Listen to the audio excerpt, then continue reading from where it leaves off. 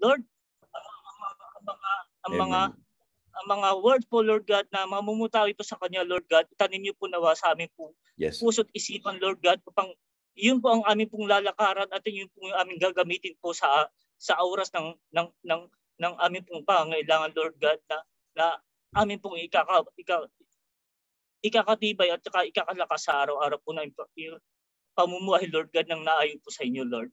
Lord, sa umagang ito Lord God, lahat ng inyo pong gagamitin Lord God, magmula pa sa worship team Lord, na inyo pong gagamitin na uh, inyo pong uh, ikakapuri Lord God na kami po magpupuri Lord God sa inyo po Lord God. Amen. Lord sa, sa magmula po sa worship team sa sa sa sa sa, sa, sa gagamitin niyo pong preacher Lord God at sa sa ano man po mga gagamitin niyo sa mga ito Lord. Bigyan niyo po kami ng kalakasan Lord God. Yes, Upang Lord. sa gayon po Lord God, kami po lubos pong uh, makapagpupuri po Lord God at maiyag po Lord God kung anong po naayon po sa inyo Lord God. Amen. Lord, ang mga kapatiran po namin Lord God sa sa umagang ito Lord God, pagbuklurin mo po kami Lord ng ng inyong banal ng, ng inyong ng inyong pagmamahal Lord God.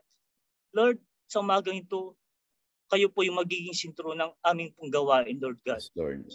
At sa aming pamumuhay sa umagang ito, Lord God. At na, alam po namin, Lord God, na mayroon ka pong gagawin, gagamitin po at gagawin po, Lord God, sa umagang ito, Lord God. Lord, maraming maraming salamat po sa umagang ito, Lord God, na inyo naman pong, inyo na naman pong uh, uh, uh, gagamitin o tigay, uh, amin na naman pong tatahagin, Lord God, na kami po ay magiging uh, masaya po, Lord God, sa umagang ito dahil alam po namin, Lord God, na kami po ay magiging mabuting Kristiyano, Lord God. Amen. Magiging mabuting anak po ninyo, Lord God. At kami po lalakad kung na yun po sa kanyang nilalakaran, Lord God. Maraming maraming salamat po, Lord God, sa inyong uh, kabutihan at, at sa inyong pagmamahal sa aming buhay, Lord. Lord, maraming maraming salamat po, Lord God. At, lang, at, at, at lahat ng ito ay aming pong inihiling sa inyong banal na pangalan po. Mahal na Panginoon Isus kasama ng Banal na Espiritu. Amen. Amen. Salamat po, Amen. Kuya Berhel. Thank you for you praying. Maraming salamat po. Salamat po. Uh, good morning and God bless. So good morning po once more brothers and sisters. Good morning din po sa inyo yung mga na, naka-connect po sa atin sa FB na ito ko si Ate Jacel uh, as as si Ate Jacel sa sa, sa Suya. Good morning sa inyo brothers and sisters. Uh, tayo po ay bago po tayo dumating pumunta po sa ating preaching na marapat po na awitan po natin ang ating Diyos, no? Uh, let's praise and worship the Lord. So I will share my screen and sabayan po natin sing with all our hearts with, with our hearts to the Lord, yung sincere hearts, no? I will share my screen para po sabayan po natin yung pinrepair po ng ating worship team para po sa uh, sa ating pong awitin. Ayan.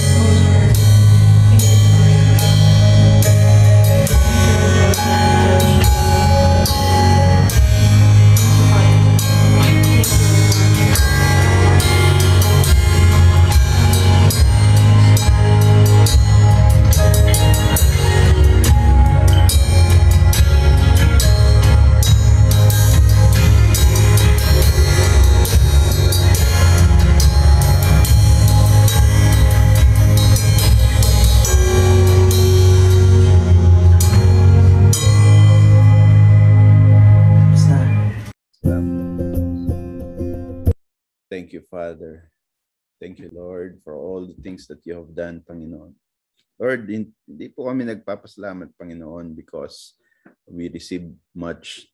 But because, Lord, we, we thank you, Lord, because we know by faith and through faith, Lord God, na na ikaw ang aming Diyos na buhay, na siyang patuloy na gumagabay sa amin, Panginoon, patuloy na um, nagpapalakas sa amin, Panginoon. Even, uh, Lord, through these times of pandemic, sabi nga sa inawit po namin, Lord, that you tore the veil and you made a way for us. Tunay nga, Panginoon, kung wala po ang iyong ang iyong ginawa, Panginoon, sa krus ng Calvary, Panginoon, Lord, we are still uh, under the wrath of God. But thanks be to God, Panginoon, because we have been delivered through our Lord Jesus Christ. Kaya naman, Lord, wala po kaming kayang gawin, wala po kaming kayang ibalik, Panginoon, na makaka-equal sa binigay mo o sa pinagkaloob mo sa amin, Panginoon. Ngunit, Lord, alam po namin na sa aming pananampalataya, Panginoon, ikaw po, Lord God, ay nagagalak, Lord, because through our faith, Panginoon, tinuturuan po kami how to be more like you, our Lord Jesus Christ. Kaya naman, Panginoon, dalangin ko po, Lord, sa bawat isa po sa amin na naririto, Panginoon. Um, parati mo po, Lord God, wag mo pong ihiwalay sa amin ang iyong mga salita. Wag mo pong ihiwalay sa amin ang banal na Espiritu, Panginoon. Pagkat, Lord God, without you, we are nothing. Without you, without the Holy Spirit in us, Without the words of God, we are nothing, Father. Kaya naman, Lord, sa umagang ito, Panginoon, sa patuloy namin na pag-aaral, pagsasaliksik ng iyong mga salita, Lord, dalangin ko ang iyong gabay patnubay, Panginoon, sa iyong uh, tinalaga, Panginoon, upang maging uh, minsahero, minsahera, Panginoon, tagapag, tagapagturo, tagapaglahad ng iyong mga salita. Dalangin ko po, Panginoon, ang iyong mga salita, Panginoon, ay magbigay buhay, Panginoon, sa mga nangihina namin na, na, na, na espiritu, mga nangihina namin, Panginoon, na pagkatao, Panginoon. Lord, let, let this, this morning, let this day be an encouragement as every day is an encouragement, Panginoon, na nagmumula sa iyo Lord, tunay na mahal mo kami, Panginoon, mula pa lamang sa paggising namin, Panginoon, in every day of our lives, ang lahat ng aming hininga, Panginoon, ang hangin na aming nilalanghap, Panginoon, lahat nagmula sa iyo, Panginoon. There is nothing, Lord God, na hindi mo po pinrovide sa amin. Even, Lord, sa sukdulan, ibigay mo ang iyong buhay para sa amin. Lord, we don't, we don't deserve this, Panginoon, but because you love us, Lord, that's why you made this for us, Panginoon. Kaya naman, Lord, ang kailangan nang namin gawin ay panampalatayanan ito, Panginoon. Kaya naman, Lord, ang mga bawat isa, Lord God, na kasama ko po rito, Panginoon, sa aming online worship service, and especially, Panginoon, sa iyong mga manggagawa sa worship team, katatapos namin pag-awit, Panginoon, dinudulog ko po sila sa iyo sa panalangin, Panginoon. Uh, uh, Lord, I, I entrust them into your mighty, righteous right hand, Panginoon, na Lord, ang aming uh, ang maintindihan po namin ng iyong mga salita ng mainam, Panginoon, at magkaroon po ng manifestation po ito, Lord, sa aming mga buhay. Nang sa gayon, hindi po kami maging tagapakinig lamang, Lord, ngunit, Lord, matayuan po namin ang iyong mga salita. I know, Lord, that it, it is uh, easy, easier said than done, Lord God, because, Lord, if we rely on ourselves, Lord, it's it's really difficult, Father. But true faith if we rely on you alone, Lord God, if we kung hindi namin Lord God iisipin yung mga difficulties, Panginoon, tunay nga na magagawa namin, Panginoon. Lord, dalangin ko rin po, Panginoon, na wag mo pong hayaan ng aming uh, worship service, Panginoon, ay maging parang isang routine lamang, Panginoon, para sa mga kapatid na every Friday mag attend lamang kami, Panginoon, just for the sake of of attending, just just for the sake of ticking the mark that we have attend, Panginoon. But Lord, let it be so na kami po uma-attend, Lord God, hindi dahil kay, kay Pastor Aldrin, hindi dahil kanino pa man, but let it be so na kami uma-attend dito sa worship service na ito, Panginoon, because we long for your words, Panginoon. Because in this church, Panginoon, ang iyong salita, ang ang ang iyong glory ang siyang itinataas Panginoon because in this church Lord the Holy Spirit Spirit's manifestation and empowerment rest upon everyone, Panginoon. Kaya mo po, Lord, na ang bawat isa, Panginoon, ay ma-encourage, Lord God, at kung kami may, may mga pinagdadaanan, Panginoon, sa mga oras na ito, maging ito may physical, Panginoon, na, na sa aming kalusugan o ito man ay uh, uh, pinansyal o ito man ay uh, problemang emosyonal or whatever that is o even sa pag-iisip kami nagugulumihanan, meron kaming mga uh, mga uh, hinanakit, meron kaming mga sama ng loob sa kumpanya, meron kaming mga sama ng loob sa aming mga kaanak, sa mga sa mga kaibigan, even sa mga kasamahan, even sa mga kapatiran, Panginoon, Lord, hayaan mo po, Panginoon, na ipaalala mo sa amin, Panginoon, that, that yung aming nararamdaman, that is nothing, Lord God, that you are everything, Panginoon. That's why you said, Lord God, in your words, Lord, that we should focus our eyes on the Lord Jesus in Hebrews chapter 12 the author and perfecter of our faith. Kaya naman, Panginoon, yan po ang dalangin ko, Lord God, that today, the day that the Lord has made, nandito kami. You have gathered us, Panginoon, not because we just want to tick the mark na umaten kami ng service, but because we, we genuinely long to receive your words, Father.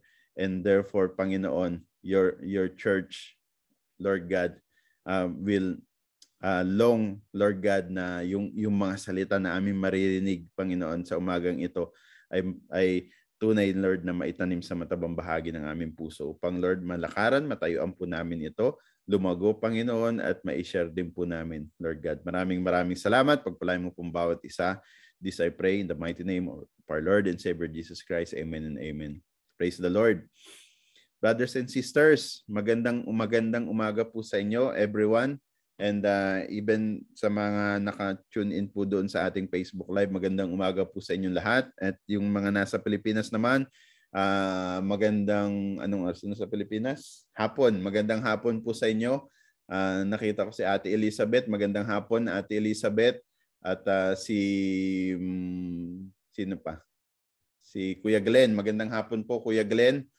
Uh, diyan sa inyo sa Pilipinas. And we are, we are uh, happy, excited, glad, delighted that you are here. Not because, well, yes, because we are all here, but more than that, because, you know, alam mo yung pagka yung, yung, yung kumakain tayo, ng sabay-sabay, kumakain, kumakain kayo ng, ng imagine niyo kumakain kayo ng sama-sama sa isang piging, no?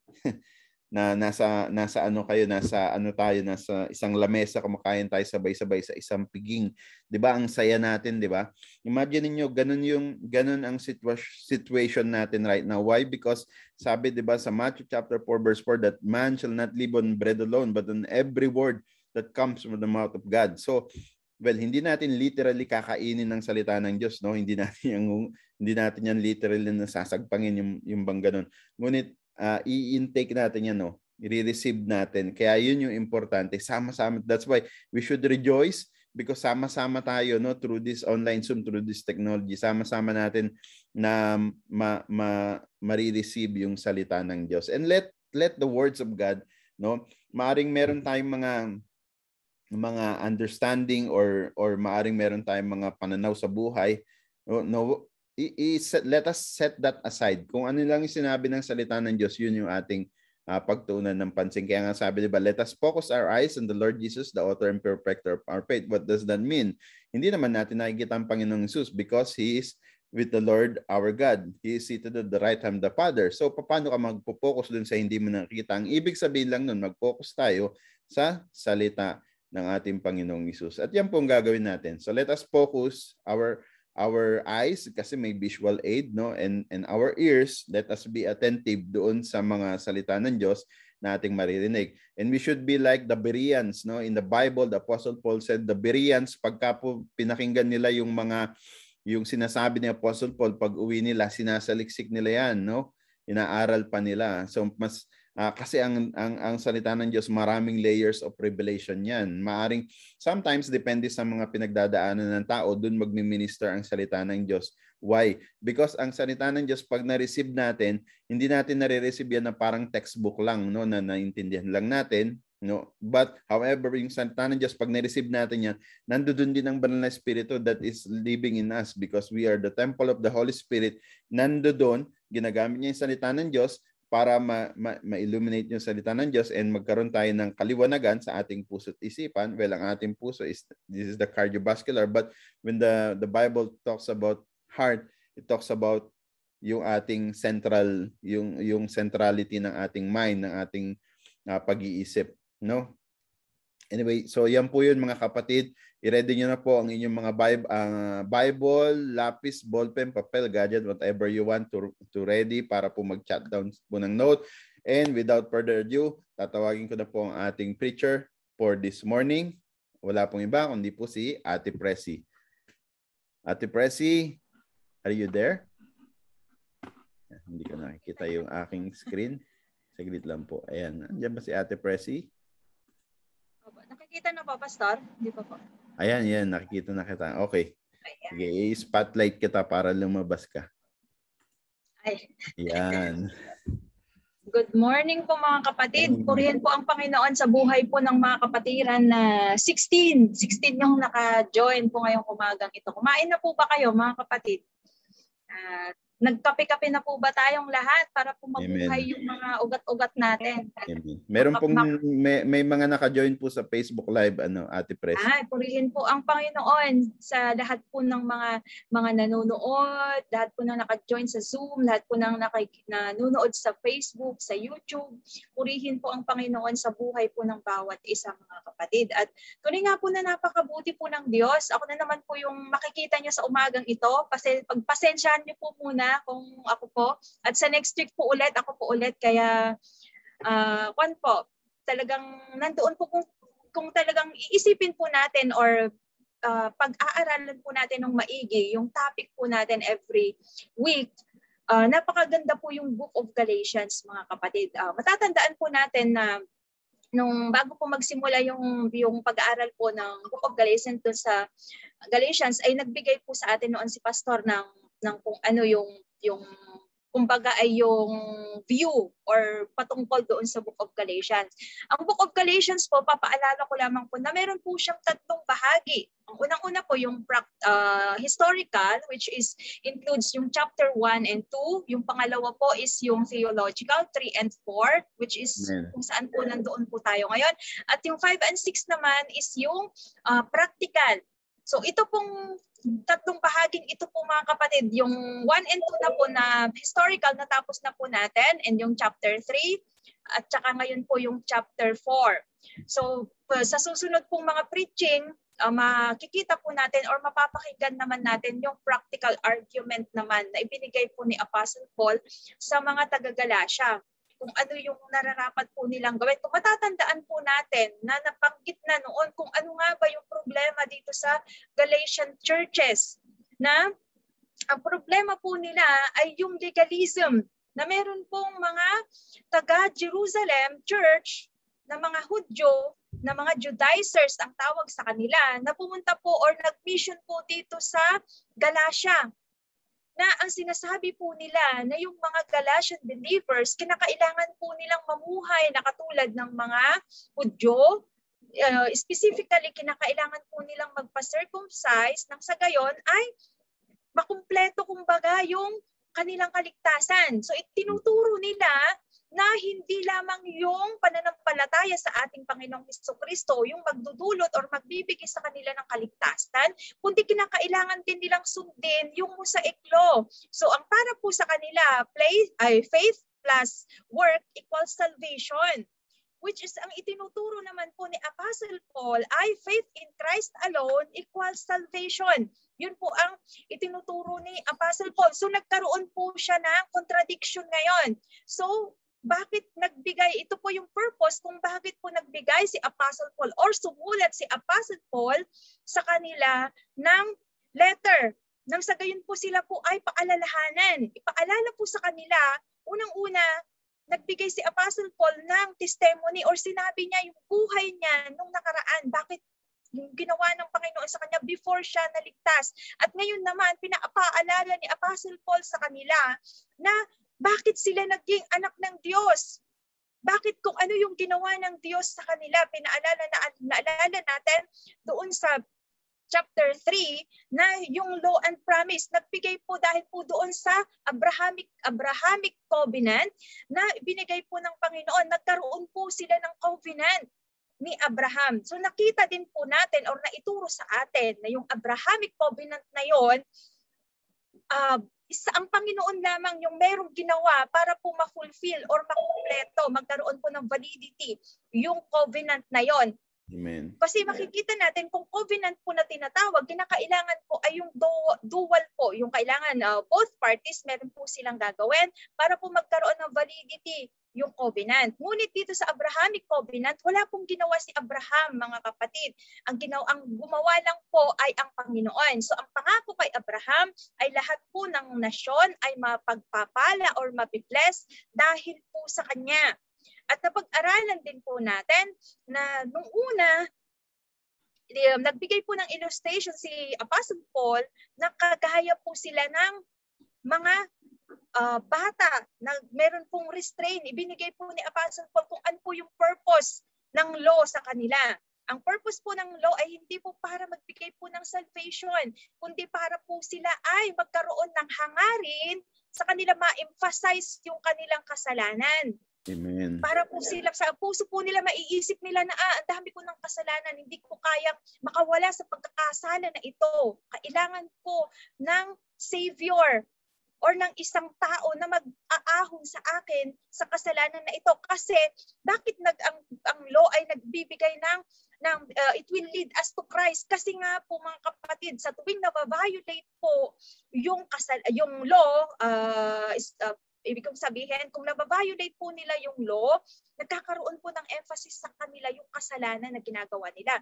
Kasi maalala po natin hmm. na yung law kapag po nalalabag, ay nagkakaroon po siya ng consequences or ng punishment, mga kapatid. So, ibig sabihin po, wala pong salvation sa law, kundi at sinabi din po ni Apostle Paul dito sa chapter 3 na nung nanampalataya na sila sa ating Panginoon, ay nagkaroon na po sila ng salvation through faith. Naging adopted sons and daughters na po sila ng ating Panginoon. Naging uh, nagkaroon na po sila ng equality. Kumbaga wala na pong mayaman, wala na pong mahirap, wala na pong malayo, wala na pong alipin.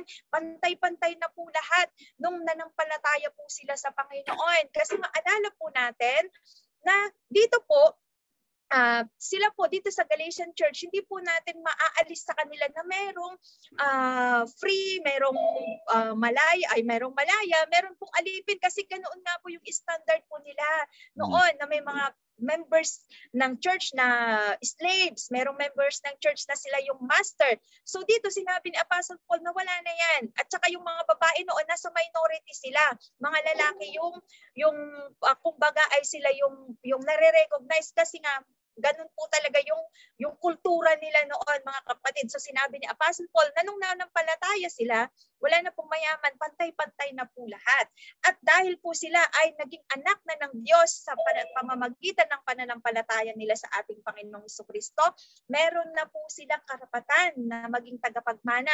Ibig sabihin po mga kapatid, hindi man po sila yung mga pinanganak na Hudyo which is binigay sa kanila yung promise Ngunit dahil doon sa ating Panginoong Heso Kristo, naging spiritual descendants po sila ng uh, ni Abraham. Ibig sabihin po, dahil nga po sila ay naging adopted or spiritual sons and daughters na sila ni Abraham, meron na po rin silang karapatan na mag-claim or maging tagapagmana. Amen po mga kapatid. So nung hmm. nakaraan pong linggo, napag-aralan po natin na nagbigay si Apostle Paul ulit ng illustration.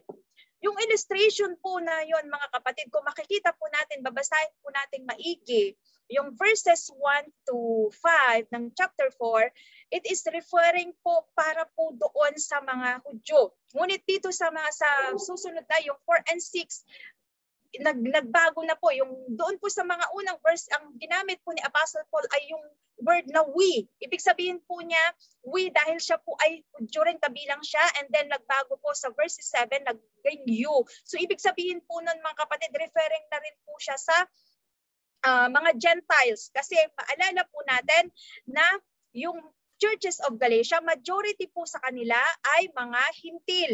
Ibig sabihin po, meron lamang pong mga kaunting porsyento na mga Jewish. So yun po yung ibig sabihin po. Pero yung topic po natin ngayon, which is 8 to 11, specifically, Paul is referring po sa mga Gentile believers. Kasi kung minsan po, uh, nagkakaroon po siya ng confusion. Ako din po nung una, akala ko po uh, both po yung pinapatungkulan ni Apostle Paul. Ngunit hindi po pala nung mga nagbasa po ako, hindi po pala. Uh, he is referring specifically to the Gentile believers po doon sa Galatia. So nung una po mga kapatid, nagbigay po si Apostle Paul ng illustration, yung pinag-aralan po natin nung last week.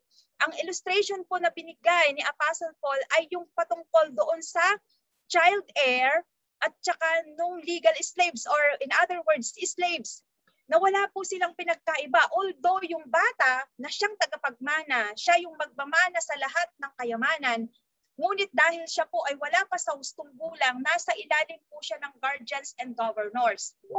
At yung slave naman, pinanganak siyang slave or binenta niyo yung sarili niya para maging slave wala silang pinagkaiba. They have one thing in common, which is hindi po sila malaya.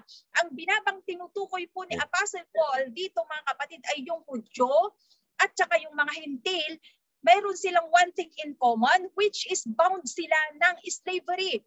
Ba, yung mga Hudyo, bound sila doon sa slavery ng uh, law.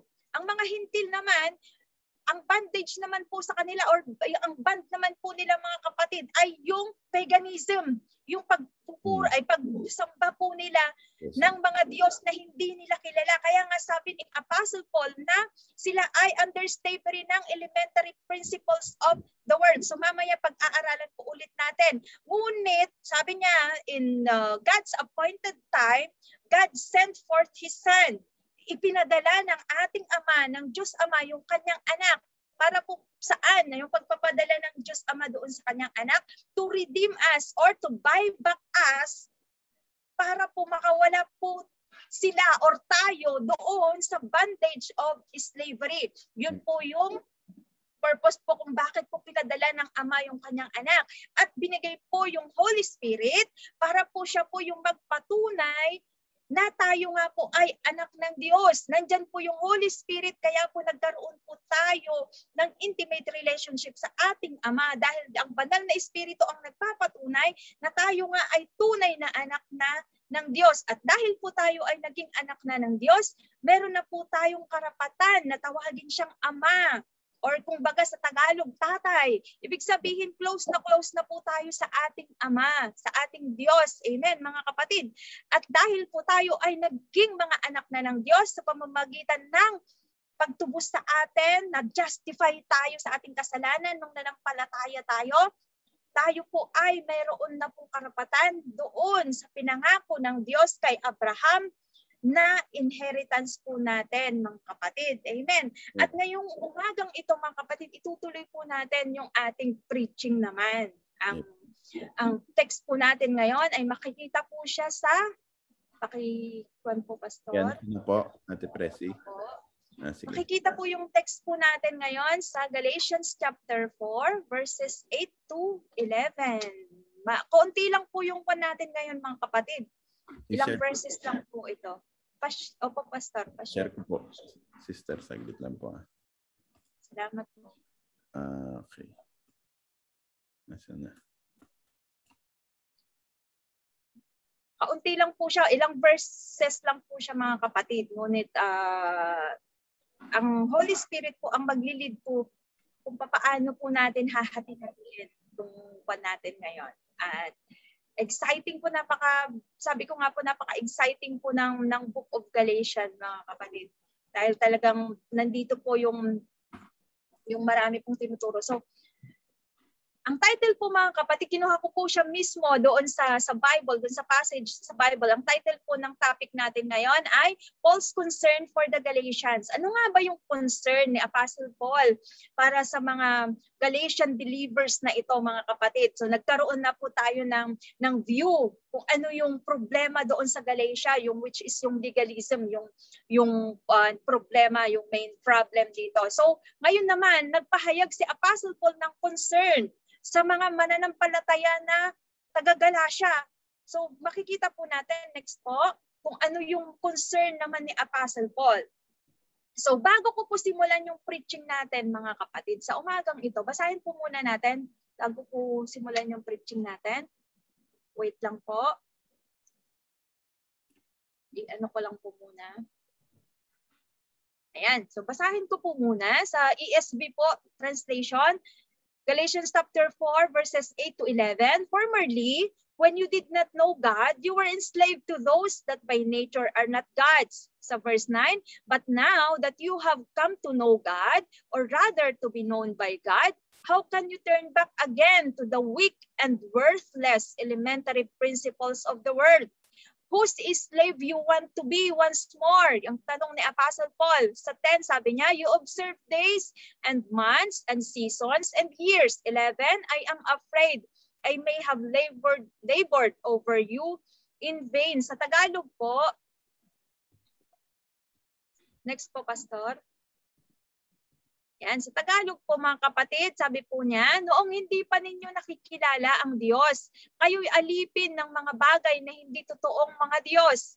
Ngunit ngayong nakikilala na ninyo ang Diyos, o mas tamang sabihin na ngayong nakikilala na kayo ng Diyos, bakit kayo bumabalik sa mga tuntuning walang bisa at walang halaga? Bakit gusto na naman ninyong kaalipin sa mga iyon? May itinatangi kayong mga araw, mga buwan, mga panahon, at mga taon. Nangangamba akong baka nasayang lamang ang pagpapagal ko para sa inyo. So mag-pray po muna tayo mga kapatid bago po natin simulan. Amen. Maraming salamat, Panginoon, sa iyong mga salita na nabasa po namin, O Diyos. Purihin ka, Panginoon. Purihin ka, Lord, dahil tunay nga po, Panginoon, na napakabuti mo sa buhay namin, O God. Marami pong salamat, Lord, dahil ikaw, O Diyos, ang siyang gumising sa amin, Panginoon, sa umagang ito, para po kami ay makapag dalo, Panginoon, makapagpuri sa iyo, Panginoon, ito yung araw, Lord, na ginawa mo para magpuri kami sa iyo, Panginoon. Lord, marami pong salamat sa buhay ng mga kapatid, O God. Na Lord, ikaw po ang mangusap sa bawat isa, Panginoon. Ikaw ang mas nakakaalam, Lord, kung ano-ano yung pangangailangan ng bawat isa sa amin, Lord. Spiritually, O God, mangusap ka, Lord. Ito po ang aming hinihiling sa pangalan ng aming Panginoong Jesus, kaisa ng banal na Espiritu. Amen. Hallelujah. So bago ko po simulan, mga kapatid, yung preaching natin sa umagang ito, meron po akong um, ikukwento sa inyo. Nung bata po ako, hindi naman masyadong bata, siguro nung nasa high school or elementary ako, meron po kaming kamag-anak. Kasi ang father ko po ay sa pastor. Noon, nung nasa, dati po pa po kaming church noon, may mga kamag-anak po sila na nasa abroad na nagpapaaral po ng mga kabataan na walang kakayanan na mag-aral. Pero ang mga kabataan na ito, papaaralin lamang nila kung papasok po sila sa Bible School. So in other words po, meron po kaming kamag-anak noon na walang kakayanan yung kanyang magulang para po siya ay pag-aralin sa secular school. So nakiusap po yung tatay nung, nung kamag-anak namin sa father ko kasi yung father ko po yung senior pastor noon sa church sa, sa lugar namin. At sinabi po na kausapin yung kamag-anak nilang nasa abroad para po uh, paaralin yung kanyang anak para maging pastor kasi wala silang kakayanan na paaralin siya. So in other words po, nakapag-aral po siya habang nag-aaral. Katulong po namin siya sa, sa gawain. Naging associate pastor siya, naging youth pastor po siya ng church. Nung nakapag-graduate po, nag-handle po siya ng church, unang-una sa Ilocos, Pangalawa doon po sa lugar namin kasi nagkaroon po ng daughter church yung lugar po, yung church po na hinahandle ng father ko. So siya po yung nag-handle doon. Hanggang dumating po yung time na meron po siyang nakilalang foreigner at uh, sa madaling kwento po ay nag, nagpakasal po sila. Kinuha po siya sa abroad, napunta po siya sa abroad. Bago po siya pumunta sa abroad, maalala ko po noon na pinag-pray siya at sabi niya, pagdating namin sa sa abroad, uh, magpapatuloy ako, magpapastor pa din ako kasi babae siya, pastora siya. At uh, hindi ko tatalikuran ang gawain. After ng ilang taon po, nagbakasyon po siya. Di masaya kami kasi akala namin same pa din ng dati. Hindi naman po siya nagbago mga kapatid. Ngunit meron lamang po kaming napansin na isang bagay po sa kanya. Nung pag-uwi po niya, ang unang-una po niyang ginawa, nagpadasal po siya para daw doon sa mga kamag-anak nilang namatay. Para daw po walang masabi, although siya daw po ay pastora, para daw po walang masabi yung kanyang mga kamag-anak kaya yun daw po ay kanyang ginawa. And then later on, nalaman po namin doon sa mga kamag-anak po ng father ko na, na nandoon din sa lugar na yon kung saan po siya napunta. Na hindi na daw po siya nag-attend ng church at hindi na siya naging active sa ministry. At tuwing nagbabakasyon po siya, mga kapatid, yun po yung kanyang ginagawa. Nagpapadasal siya. Kung ano yung kinagawian niya noon, yun na rin po yung ginagawa niya. So, ang tanong ngayon, am I questioning her salvation? Hindi po mga kapatid. Sa pagitan na po niya at ng Panginoon. Ngunit isang bagay lang po yung gusto kong uh, sabihin or ipakita sa inyo kung bakit ko po kinwento yon mga kapatid. Na tayo kung minsan bilang mga mananampalataya, na may mga bagay or may tendency pala na balikan natin kung ano yung mga bagay na ginagawa natin noon nung hindi pa tayo mananampalataya. So ito po yung concern ni Apostle Paul para po sa mga taga-Galasya kung bakit po siya nagbibigay ng paalala sa kanila.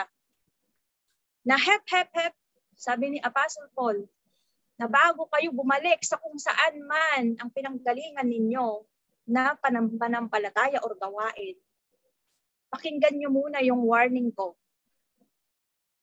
yun ang mensahe ni Apostle Paul sa kanila. At yun din ang mensahe natin sa umagang ito mga kapatid. So unang-una po, uh, next po Pastor. Sa next po po. Ayan.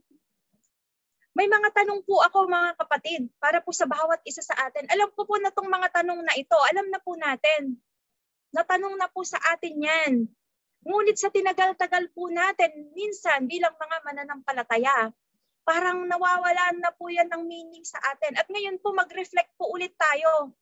Mamaya po doon sa conclusion, babalikan po natin yan. Habang sinasabi ko po or binibigay ko po yung mensahe ko sa umagang ito, mensahe ng Panginoon, mag-reflect po tayo mga kapatid. Ano ba yung ibig sabihin nito? Yung mga common question na noon pa man, bago tayo manampalataya or nung tinanggap natin ang ating Panginoon na itanong na sa atin. At ngayon na matagal na tayong mananampalataya, ano na ba yung ibig sabihin nito sa atin? Unang tanong po mga kapatid, what does it mean to be born again para sa ating mga mananampalataya? Anong ibig sabihin ng pagiging born again? Ngayong mananampalataya na po tayo. Pangalawang tanong po,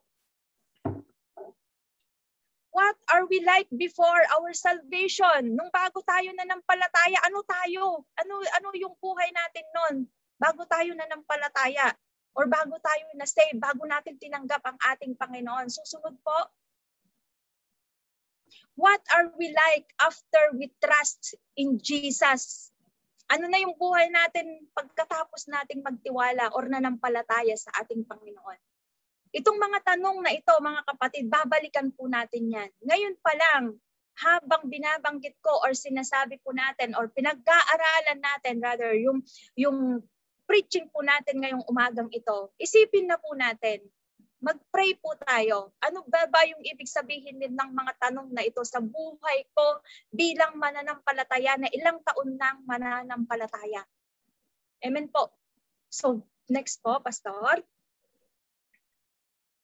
What are Paul's concern for the Galatians? In other words po, sa mga pag ko pong Galatians, yung mga Galatians uh, Galatian believers po yung binabanggit ko. Unang-una po mga kapatid na concern ni Apostle Paul para po sa mga taga-Galatia. Letter A, they will go back in worshiping false gods. Yun yung unang-unang concern ni Apostle Paul para po sa kanila. Basahin po natin sa verse 8. Sabi niya, Formerly, when you did not know God, you were enslaved to those that by nature are not God. Sa Tagalog, para maintindihan po natin, noong hindi pa ninyo nakikilala ang Diyos, kayo'y alipin ng mga bagay na hindi totoong mga Diyos. Ang ibig pong sabihin dito ni Apostle Paul, mga kapatid, pinaalala niya or ipinapaalala niya sa mga mananampalatayang ito na noon, hindi pa nila kilala ang Diyos, hindi wala pa sa buhay nila si Kristo, wala pa silang pananampalataya sa ating Panginoong Heso Kristo, sila po ay naging alipin ng mga bagay. Ibig sabihin po dahil sila po ay mga pagano, sila po ay meron pong mga idols or may mga rituals po silang ginagawa na akala po nila ay yun ay ang mga ang Diyos dahil makikita po natin or maaalala po natin na ito pong mga taga-Galasya mga kapatid at lahat po ng lugar na nakapalibot po dito sa Galasya na ito, yung Lystra, yung Antioch, lahat po sila ay sumasamba po sa mga Diyos-Diyosan. Sumasamba po sila kay Diana, kay Zeus, kay Hermes, kay Venus, kasi nga po sa, sa karamihan po sa kanila or majority po sa kanila mga kapatid ay mga Griego or Greek.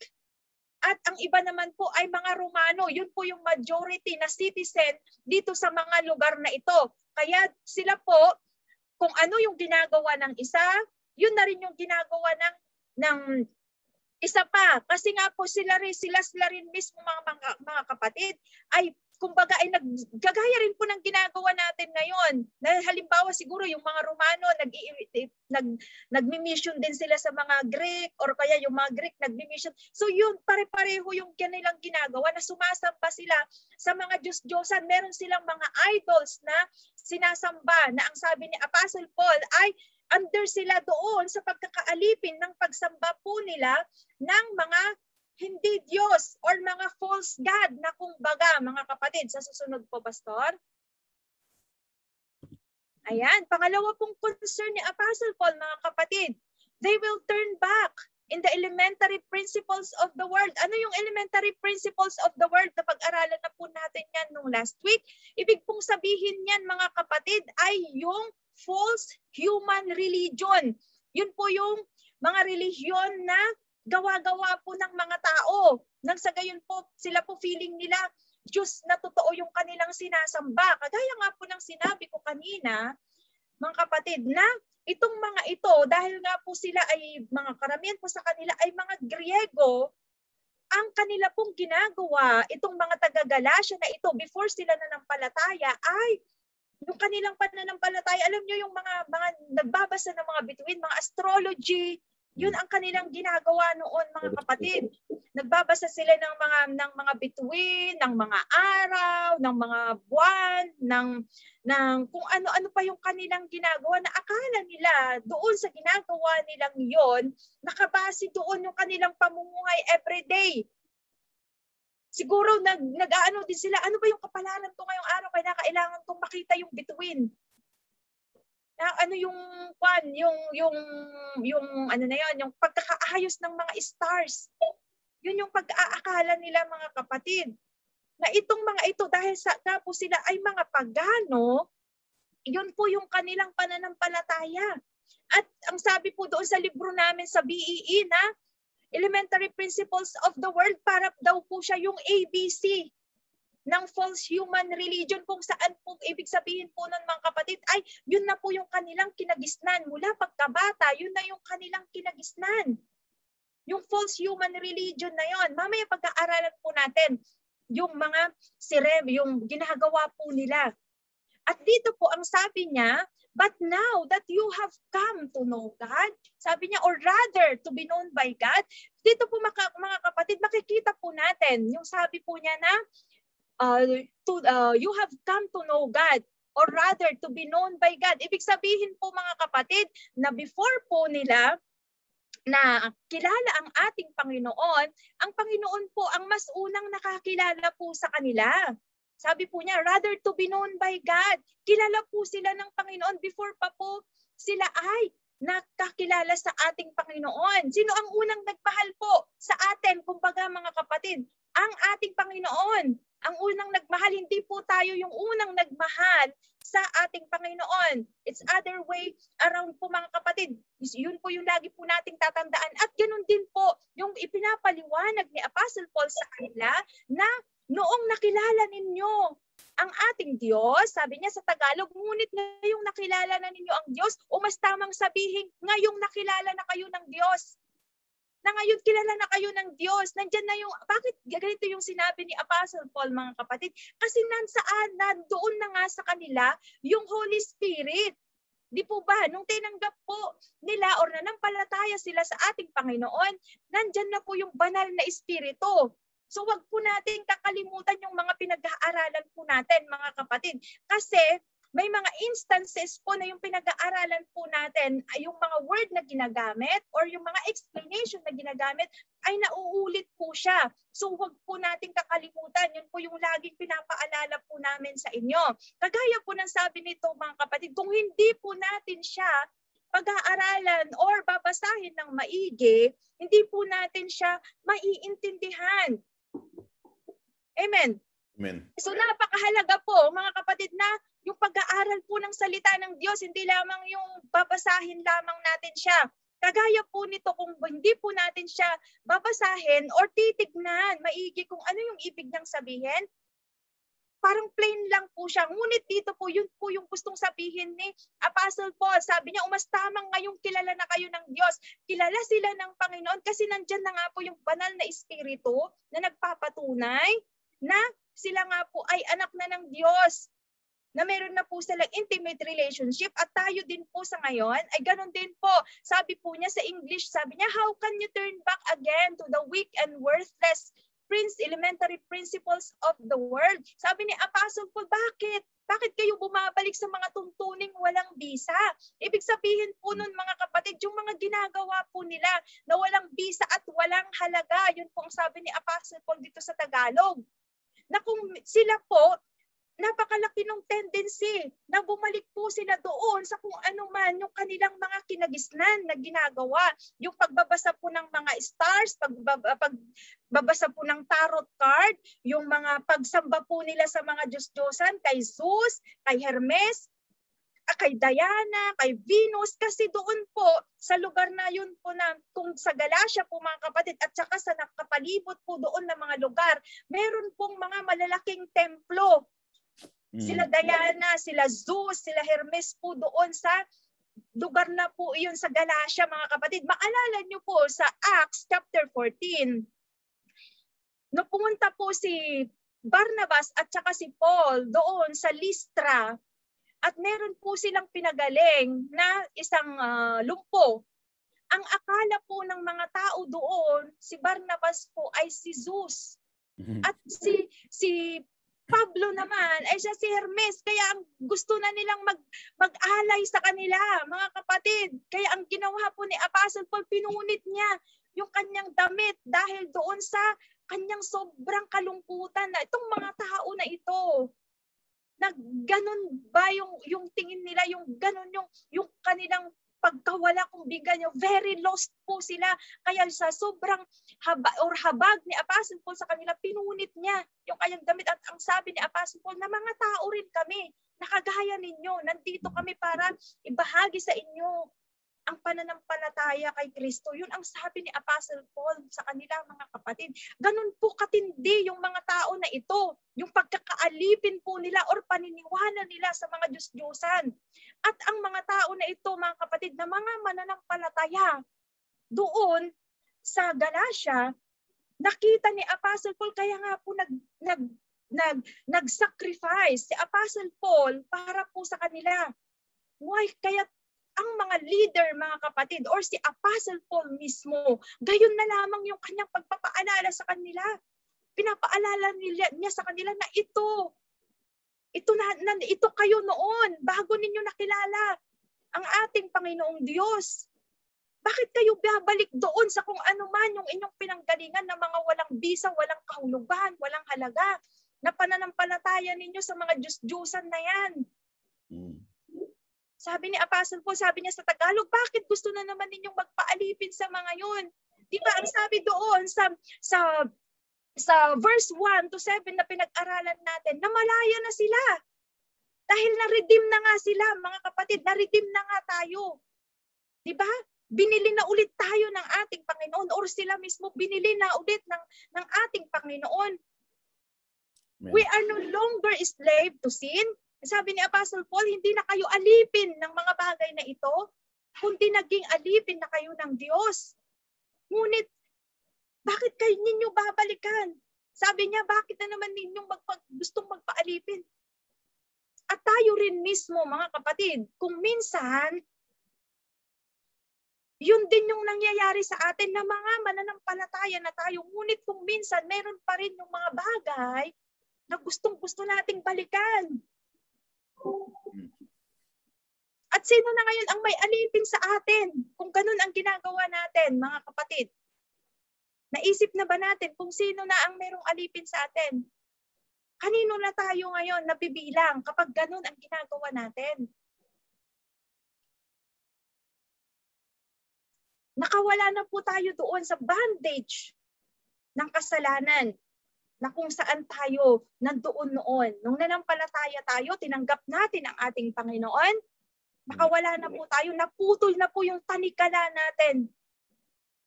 Tinanggal na po natin yon, natanggal na po yon rather ng ating Panginoon. Pinutol na po niya dahil po doon sa ating pananampalataya sa Kanya. Nagkaroon na po tayo ng reconciliation. Amen total reconciliation, hindi po partial mga kapatid, ngunit total reconciliation sa ating Panginoon nung nanampalataya tayo sa ating Panginoong Diyos. Na-justify po tayo. Ang topic po ng Book of Galatians ay the just shall live by faith o kaya sa ibang translation, the righteous shall live by faith. Anong ibig sabihin nun? Righteous means we have the right standing in front of God, in the sight of God. Mga kapatid, kaya ano pa, yung karapatan natin na bumalik kung ano yung pinagmulan natin noon, yung mga gawain natin noon. Huwag na nating balikan. Amen. Amen. Huwag nating gayahin yung asawa ni Lot. Anong sabi sa kanya ng angel? Na wag wag kayong lumingon hanggang makarating kayo doon sa paroroonan ninyo. Ngunit siya, lumingon siya. Anong nangyari sa kanya? Posting asin. Mm. Sabi mo ba, Ate Presi, magiging posting asin ka mo? Hindi, hindi ganun mga kapatid. Ngunit ang ibig ko lang sabihin, huwag na nating lingunin or balikan yung mga bagay na nagawa natin. Hindi ko kasi makalimutan, Ate Presi, pabalik-balik siya kasi ganito yung ginawa ko noon. Hindi ko siya makalimutan. Kapatid, isipin po natin, pinatawad na tayo ng Panginoon. Kapag pinatawad ba tayo ng Panginoon, may bawian ba yun? Sabi nga po sa Bible, if you confess your sin, patatawarin tayo ng Panginoon. Mga kapatid, wala pong sinabi na kapag pinatawad ka, babalik-balik ka. Mga kapatid, wala pong ganun. Kaya isipin po natin, wag na po natin, kasi ang dami kong ginawang nakakahiya. Lahat po tayo, marami pong ginawang nakakahiya, mga kapatid. Na kung iisipin natin, ako, hindi ako deserve. Mm na mag, mag, mag-preach, hindi ako deserve para magpuri sa Panginoon. Sino pong nagsabi noon, mga kapatid? Ang Panginoon po ba or yung isip lamang po natin? Dapat magkaroon po tayo ng distinction. Nandyan po ang salita ng Panginoon para po babalikan natin. Nandyan po yung mga pangako ng Lord para po babalikan natin mga kapatid.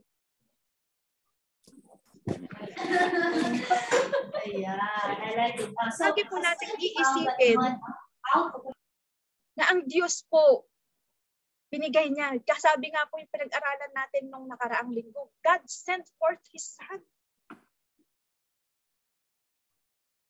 Pwede naman po siyang magpadala ng ibang tao, di ba? Pwede siyang magpadala ng ibang tao, ngunit yung anak niya mismo ang kanyang pinadala.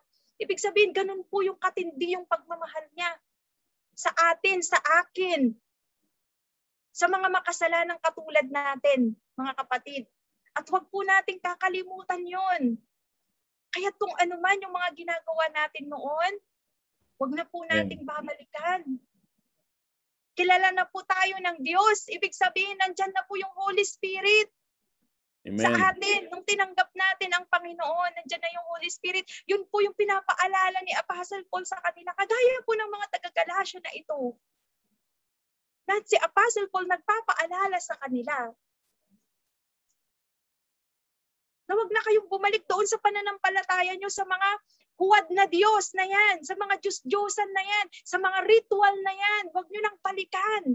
Huwag ulit kayong magpaalipin dahil kayo ay malaya na. Amen. At ngayon da, kayo na ay mga anak ng Diyos, meron na kayong inheritance. Ipagsasawalang bahala ba ninyo yung inheritance? Kulang na lang yun ang sabihin ni Apostle Paul sa kanila. Mga kapatid,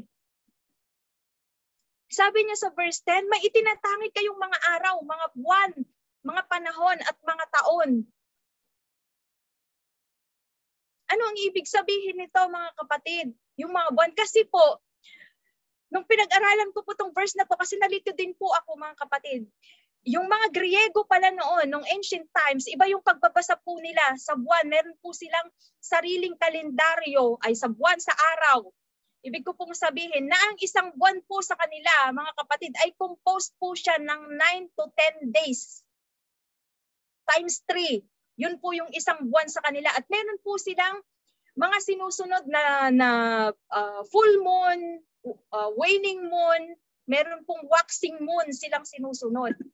Meron at sa isang taon po meron po siyang four seasons. Yun po yung kalendaryo po ng mga Griego noon.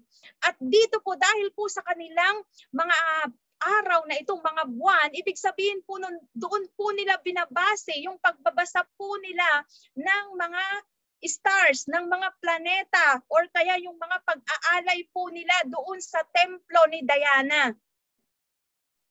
Kaya po binanggit ni Apostle Paul po ito sa kanila. Kasi ang akala ko din noon din po, nung una kong nabasa ito, babalik po sila doon sa uh, mga araw po or kaya mga festivities ng mga Hudyo. Hindi po pala ganun mga kapatid. Ang binabanggit po ni Apostle Paul dito kasi direct po siya na nakikipag-usap or tinutukoy niya yung mga pagan rituals na ginagawa po ng mga pagano noon or kaya nung mga hintil na mga naging mananampalataya. Ibig sabihin po mga kapatid, yung mga naging kaugalian nila noon or ginagawa nila noon na pagbabasa ng mga mga stars or kaya dito po siya nakabase ngayon. So mayroon po siyang tinatawag noon na stoikia na, na ginagamit po nila sa Greek word na stoikia. Hindi ko lamang po siya nasama dito sa sa PowerPoint natin. Na ito po, ang akala po nila, ang sinasamba po nila ay Diyos, ngunit Si ito po pala mga kapatid, ang ibig po niya palang sabihin ay ang sinasamba nila ay si Satanas. Nagiging, yung mga ritual po nila ay nagkakaroon po siya ng mga uh, uh, demonic influences po sa kanilang buhay. So titignan po natin, next po Pastor, yung mga supporting verse po para po ma-emphasize po natin. Ayan po, ang sabi po niya sa Ephesians 2 verses 1 to 3, sabi niya, And you were dead in the trespasses and sins in which you once walked forever, I following the course of this world, following the prince of the power of the air, the spirit that is now at work in the sons of disobedience, among whom we all once lived in the passions of our flesh, carrying out the desires of the body and the mind, and were by nature children of wrath like the rest of mankind. Meron po akong nabasa na yung flesh daw na tinutukoy po dito mga kapatid ay yung natural bait of sin. Ibig sabihin po na yung flesh or yung laman natin or yung desire natin ay siya yung natural na pain sa kasalanan. So dito po sinabi po sa next po pastor,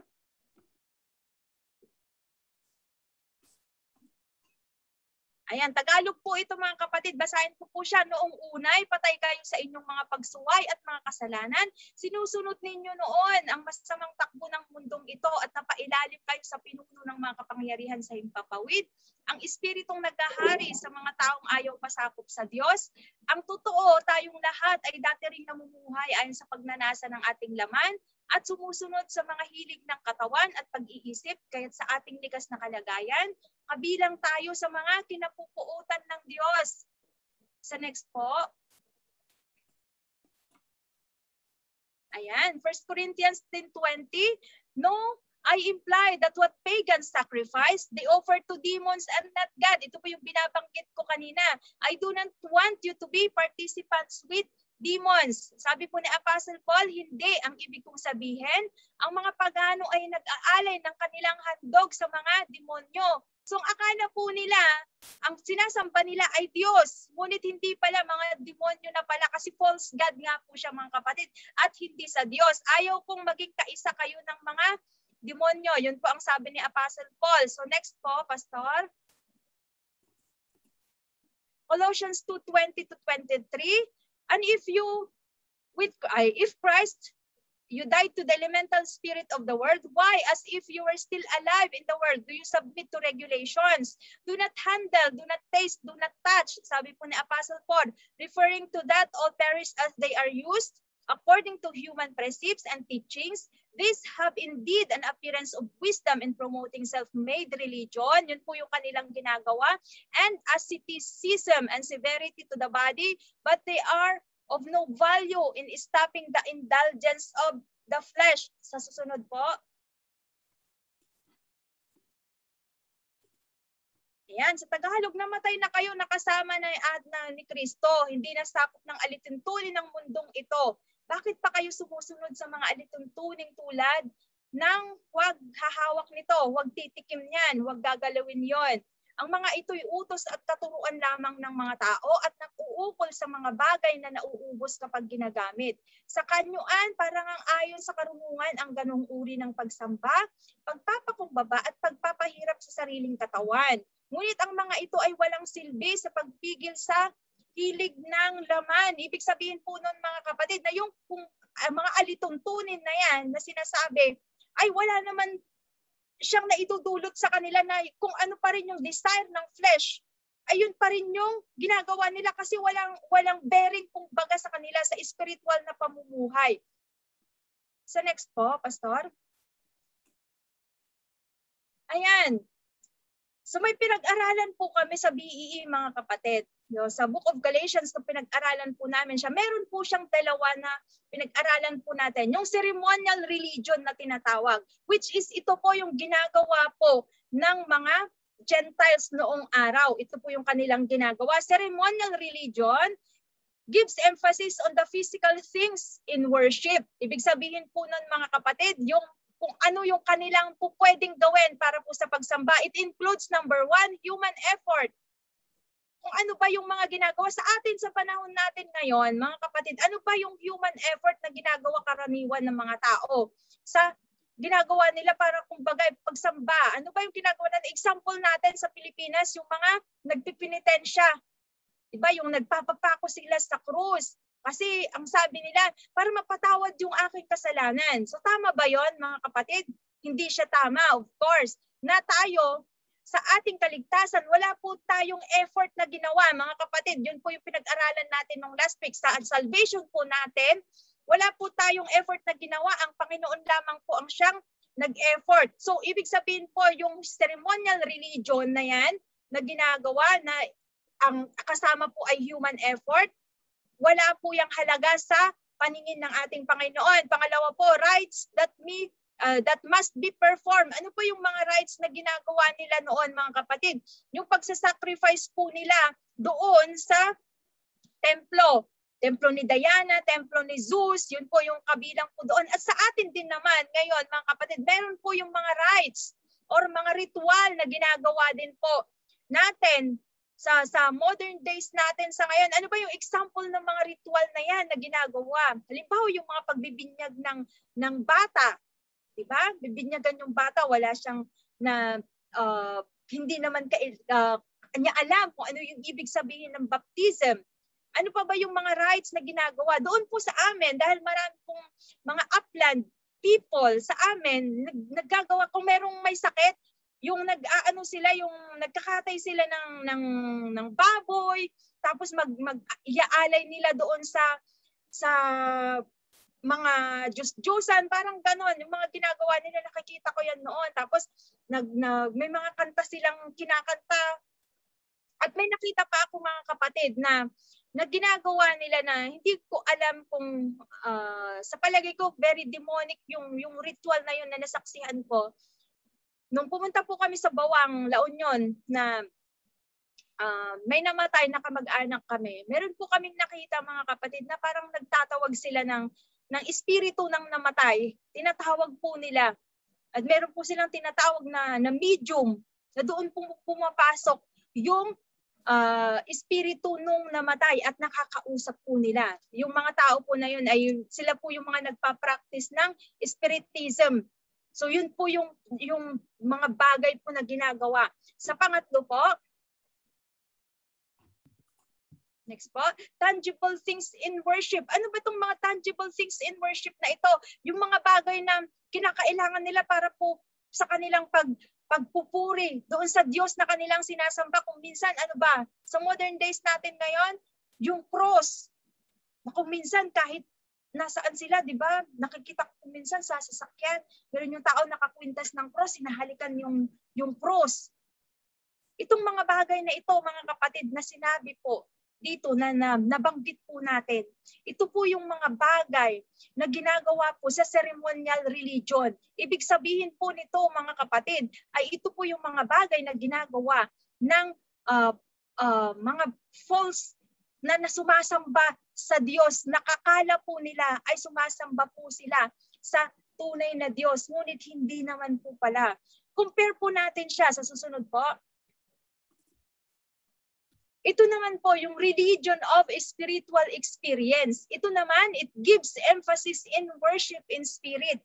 Ito din po mga kapatid ay yung ginagawa po natin na mga mananampalataya. Number one, it includes God's work. Paano ba natin nasasamba ang ating Panginoon? Dahil sa kung ano yung ginawa ng Panginoon, naiisip natin kung ano yung ginawa ng Panginoon. Napakabuti mo, Lord. Hindi mo hinayaan na madisgrasya ako, hindi mo hinayaan na, na nandoon na lamang ako sa, sa pagkakasala masadlak, ngunit inahon mo ako doon sa aking pagkakasala, ginawa mo kong anak. Di ba? Pag naiisip natin yon yung ginawa ng Panginoon, nagkakaroon tayo ng rason para magpuri sa Kanya. Kasi na-experience natin spiritually yung kabutihan ng ating Panginoon. Pangalawa, personal knowledge of God through relationship with Him. Kasi bakit natin siya mapupuri? Kasi kilala natin siya. Mga kapatid, personally, we know our God. Amen. We at kilala natin ang Diyos na mabuti siya, mahal niya tayo. Kilala natin ang Diyos na tayo ay anak niya at nakakalapit tayo sa Kanya dahil tayo ay, ay siya ay ama natin. Pangatlo po mga kapatid, worship in spirit. Anong ibig sabihin ng worship in spirit? Ibig sabihin po nito mga kapatid na from the bottom of our heart, napupurihin natin ang Diyos. Amen po, dahil po doon sa kung sino ang Diyos. Amen po, naintindihan po natin mga kapatid na yung, yung kaibuturan po ng puso natin, pupurihin natin ang Diyos sa kung sino siya, hindi dahil sa kung ano yung ginawa niya para sa atin. Yun po yung pinaka madaling uh, explanation para intindihin po natin kung ano yung worship in spirit.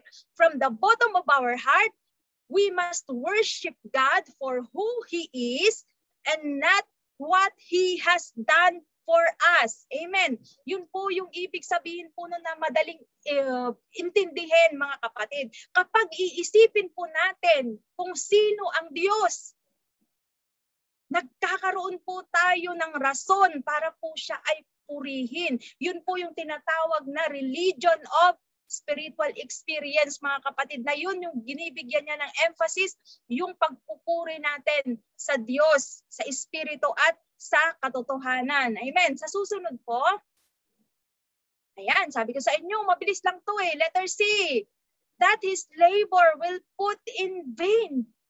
Amen. Yun po yung is, pangatlong concern ni Apostle Paul. Na ano ba, yung paghihirap ko sa inyo, wala nang halaga. Kulang na lang siguro umiyak si, si Paul. Di ba? Kung ako siguro to, naku, umiyak na ako. Pero hindi ako si Paul eh. Kaya, kaya Galatians 4.11, sabi niya, I am afraid I may have labored over you in vain. Alam mo yung yung ramdam mo yung yung pan ni Apostle Paul yung panghihinayang niya o kaya siguro masama yung loob niya. Ano pa mga anak ko sabi niya. Kasi basahin po natin mga kapatid. Bakit na, na nasabi po ni Apostle Paul sa susunod po? Kasi dito mga kapatid, tinawag niya sila bilang kanyang mga anak. Galatians 4.19, My little children, for whom I am again in the anguish of childbirth until Christ is formed in you. Ibig sabihin po nun mga kapatid na sila po, itong mga Galatian believers na ito, tinuring po sila ni Apostle Paul na kanyang mga anak na lahat po mga kapatid ng, ng pagsasacrifice, lahat ng pagmamahal, ibinuhos niya sa kanila, sa pangangaral sa kanila, pag-evangelize sa kanila, tapos dahil lamang doon sa sinasabi ng mga Judaizers na ito, kakalimutan nila lahat ng itinuro ni Apostle Paul sa kanila. O kay sakit naman, sabi siguro ni Apostle Paul, mga kapatid, ganun-ganun lang ba yung mga pinagsamahan natin, mga tinuro ko? Kulang na lang ganun ang sabihin niya sa kanila. Sa susunod po, Ayan, mga kapatid, dito naman sa Galatians 4.12, tinawag niya silang brothers. Brother, I entreat you because as I am, For I also have become as you are. You did me no wrong. Sabi ni Apostle Paul sa kanila. Tinawag niya silang kapatid. Mga kapatid, sabi niya ganon. Huwag na sana kayong mahulog. Sabi niya, mga kapatid, kung may isa sa inyo na mahulog sa pagkakasala, kayong pinapatnubayan ng Espiritu ang magtuwid sa Kanya. Subalit, gawin ninyo iyon ng mahinahon at mag-ingat kayo. Baka kayo naman ang dumaa, naman ang matukso. Sa susunod po, Sa susunod po, Pastor, ay wala na. Mamaya po yan, Pastor. Mamaya po yan. At dito mga kapatid, makikita po natin kung ano po yung um, nararamdaman. Parang napipicture ko kung ano yung nararamdaman ni Apostle Paul na itong mga tao na ito na tinuring niya ang mga anak, mga kapatid sa pananampalataya, bigla-biglang tatalikuran kung ano yung mga itinuro niya. Sabi ko siguro ni Apostle Paul, ano ba, saan ba ako nagkulang? Mali, may mali ba akong naituro sa kanila? Hindi ba sila nag-grow under ng pangangaral ko? Yung siguro yung nasa isip ni Apostle Paul. Alam niyo mga kapatid, nung pinabasa ko tong verse na to, para kung nararamdaman kung ano yung nararamdaman ni Apostle Paul. Mm. Na maalala ko yung sinabi ng, ng father ko na yung church daw, which is us, the believers, ay siya yung mukha ng pastor. Which is totoo mga kapatid. Na kung minsan nakakalimutan natin, di ba? Kung ano yung paghihirap ng pastor natin, kung ano paghihirap ng mga tao na nagngaral sa atin, na kung meron tayong hindi nagustuhan para tayong nagtampo sa bigas. Na hindi natin na naiisip na Mahal nila tayo, kaya tayo pinapaalalahanan. Ang iniisip natin, ako napaka-judgmental. Masyadong mapanghusga, masyadong self-righteous. No! Mga kapatid, hindi po sa ganon. Makikita po natin si Apostle Paul, ano ang tawag niya doon sa, sa mga taga-Galatia? Nung sa, sa verse 1 ng chapter 3, you foolish Galatian. Sabi niya, kung Iisipin natin, napakabigat na salita noon. Tayo ba? Natawag na ba tayong foolish? Ng mga pastor natin, ng mga leaders natin, ng mga nangangaral sa atin. Hindi pa mga kapatid, ibig sabihin pa po noon, mas matapang pa pala si Apostle Paul na nagpa, nag, nangangaral sa kanila, na nagpapaalala sa kanila. Ito mga kapatid, makikita natin, sabi niya sa 1 Thessalonians 5.12, mga kapatid, ipinapakiusap namin na igalang ninyo ang mga nagpapakahirap sa pamamahala at pagtuturo sa inyo. Alang-alang sa Panginoon. Tayo mga kapatid, nagawa-gawa po ba natin ito? Or ginagalang lang natin ang ating mga leaders or pastor dahil nakaharap sila. Ba't sa talikuran, nako, talo-talo na. Isipin natin, anong paghihirap ng ating mga pastor, hindi man po sila yung nangaral sa atin para po tayo ay masave. Ngunit sila po yung ginagamit ng Panginoon para po tayo ay mapakain spiritually. Kapag po may nagpinaalalahanan po tayo, huwag tayong magtampo. Huwag tayong magalit. Huwag nating sabihin na judgmental, self-righteous. No, mga kapatid. ginagawa po nila kung ano yung kanilang trabaho na iniatang ng Panginoon. Dahil wala pong pastor na gusto niyang mahulog sa bangin yung kanyang tupa. Maalala niyo po, yung 99 sheep, merong isa na nawala, iniwan yung 99, hinanap yung isa. Ibig bang sabihin nun, pinabayaan yung 99? Hindi. Mga kapatid, dahil sila po ay secure na. Kaya hahanapin yung isa na nawala. Ganun po ang, ang ginagawa ng pastor. Mga kapatid, yun po ang ginagawa ng mga nangangaral sa atin. Huwag po nating sabihin na, nakul, lagi na lang nagpapatama yan si Ate Presi na yan. Sa tuwing nag preach siya, lagi siyang, naku, napakatapang ng dila ng babae na yan. Naku mga kapatid, kung hindi ko po sasabihin sa inyo, sino pong magsasabi sa inyo? Hindi po po pwedeng si pastor ang mag-preach nito kasi sasabihin na naman ninyo, naku, pinapatamaan ako ni pastor. No. It is better na ako ang magsabi, mga kapatid. Hindi po dahil sa gusto ko lang, ngunit ito yung gustong iparating sa bawat isa sa atin ng Panginoon na kinakailangan, isipin natin yung labor or paghihirap, sacrifices. We have to learn to appreciate yung ating mga leaders, yung ating mga pastor na ginagamit ng ating Panginoon. Alam niyo mga kapatid, napakapalad po natin na nandito sa abroad dahil hindi natin kinakailangan na buhayin yung mga pastor natin. Alam niyo sa Pilipinas, ang mga members ang siyang bubuhay sa pastor. Kasi ang mga pastor full-time sila sa ministry.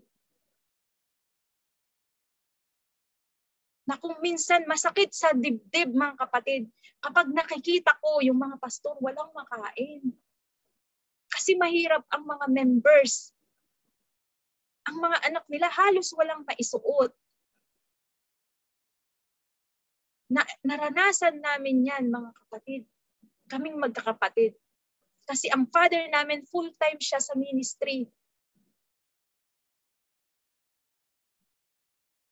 Na kung minsan, dumating, dumadating yung time na yung mga miyembro, binibigay yung kanilang anak sa amin dahil wala na silang maipakain. Biruin nyo, sampu kami mga kapatid. Tapos meron pang ibibigay yung miyembro sa amin noon na pastor kayo na po ang bahala. Sa anak namin, hindi na po namin kaya. Ganon ang naging buhay namin mga kapatid. Dito sa atin, sa abroad, hindi natin problema kung ano yung kakainin ng mga leader natin, ng mga pastor natin. Hindi natin pinoproblema. May trabaho sila. But come to think of it, mga kapatid, do we really appreciate our pastors, their labors, their sacrifices? Nagagawa ba natin na, Pastor, kumusta po kayo? Baka naman pag nag-message si Pastor, na hindi nyo binabasa, binubura ka agad. O baka naman lahat ng pinapangaral ni Pastor, tinatanim nyo sa puso nyo at nag-iipon kayo ng galit ng sama ng loob.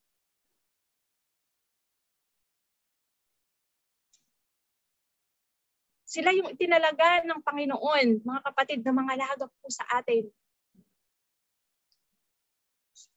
Na sana naman nila yung pagmamahal din po natin. Hindi nila hinihiling mga kapatid na i-appreciate natin sila. Pero sa sarili natin, bilang mga mananampalataya na kabahagi ng katawan ng ating Panginoon, dapat maramdaman din natin kung ano yung nararamdaman nila. Dapat maging sensitive tayo Nandoon yung concern natin. Na kung minsan kinukumusta tayo, tayo pa yung galit. Na kung minsan mini-message tayo, tayo pa talaga yung mga kapatid. Nandyan po ang ating Panginoon. Mamaya po, sagutin natin yung mga question. Sa susunod po, Pastor, Hebrews 13:17, pasakop kayo at sumunod sa mga namamahala sa inyo. Sila'y nangangalaga sa inyo at mananagot sila sa Diyos sa gawaing ito. Kung sila'y susundin ninyo, magagalak sila sa pagtupad ng kanilang tungkulin. Kung hindi, sila'y mamimighati at hindi ito makakabuti sa inyo. Amen. Napakaliwanag mga kapatid kung ano po yung sinasabi ng Biblia. Bakit nagpapaalala sa atin ng si pastor? Bakit nagpapaalala? Kasi gusto nilang makialam? Hindi po. Dahil pananagutan po nila sa Panginoon ang bawat isa po sa atin. Sa espiritual na aspeto po ng buhay natin, mga kapatid, sila po ang namamahala dyan. Sa lahat-lahat po. Sa personal mong buhay, pwede nilang hindi pakialaman yan. Ngunit sa espiritual na buhay po natin, may pakialam po sila. Dahil yun po yung unang-una na concern po nila para sa atin, mga kapatid. Kaya kung tayo pinapaalalahanan, huwag magtampo.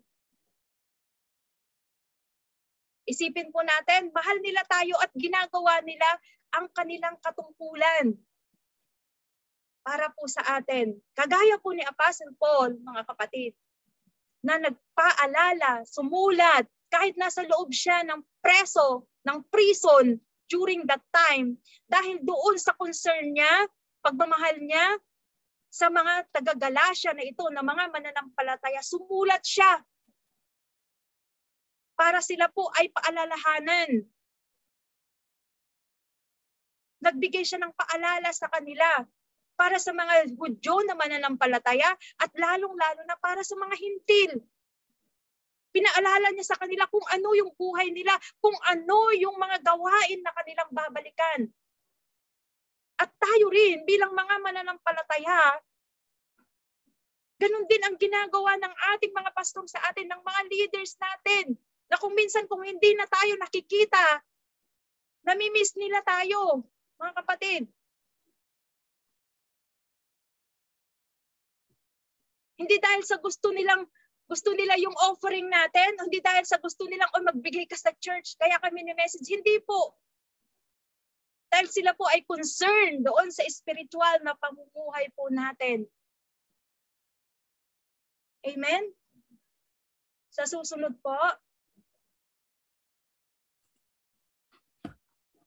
Sunod pa po. Dito na po tayo sa conclusion mga kapatid. Kagaya po ng sinabi ko kanina, nababalikan po natin yung mga tanong po na tinanong po kanina. Unang-una pong tanong, for us, what does it mean to be born again? Para po sa ating mga mananampalataya, ano po para sa atin ang pagiging born again. Ngayon po, na mananampalataya na po tayo. Unang-una po, meron pong physical birth, yung first born, first birth na tinatawag nung pinanganak tayo. Spiritual birth, yung second birth na tinatawag nung tinanggap natin ang ating Panginoon. At ngayon po, ano na po yung kabuluhan niyan sa atin? Ito po, nilagay ko dito mga kapatid, ito po ay yung sagot ko sa katanungan na yan. Kayo po kung ano po yung sagot ninyo Nasa sa inyo na yan. Ang Panginoon at kayo lamang po kung ano yung nakakaalam. Ang sabi po niya sa first ay sa John 1:12 to 13, but to all who did receive him, who believed in his name, he gave the right to become children of God, who were born not of blood, nor of the will of the flesh, nor of the will of man, but of God. Yun po para sa akin sa ngayon ang pagiging born again. Amen. I became children, a child of God Naging anak ako ng Diyos spiritually, mga kapatid.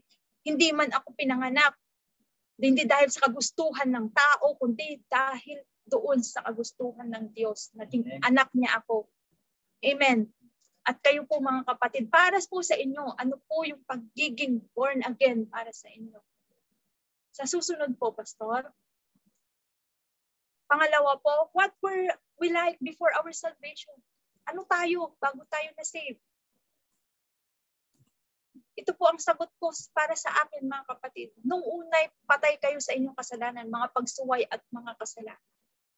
Ephesians 2.1 Before mga kapatid ng aking salvation, we are dead to sins and transgression. I am dead to sin and transgression. Amen. Na yung buhay ko noon bago ko tinanggap ang ating Panginoon, yung totoong pagtanggap, namuhay ako doon sa buhay na nakakahiya, sa buhay na makasalanan, mga kapatid. Although sinasabi ko na mananampalataya ako, ngunit yung buhay ko hindi buhay ng mananampalataya. Yung mga gawain ko, yung way. Kahit sinasabi ko na, naku, napakabait ko, pero yung way na magsalita ako, hindi man ako nagmumura. Ngunit masakit akong magsalita. Yun ako noon. Punong-puno ako ng galit, punong-puno ako ng hatred. Lahat ng tao sinisisi ko kasi ganon ang buhay ko. Yun ang buhay ko before ako niligtas ng Panginoon. Amen. Susunod po.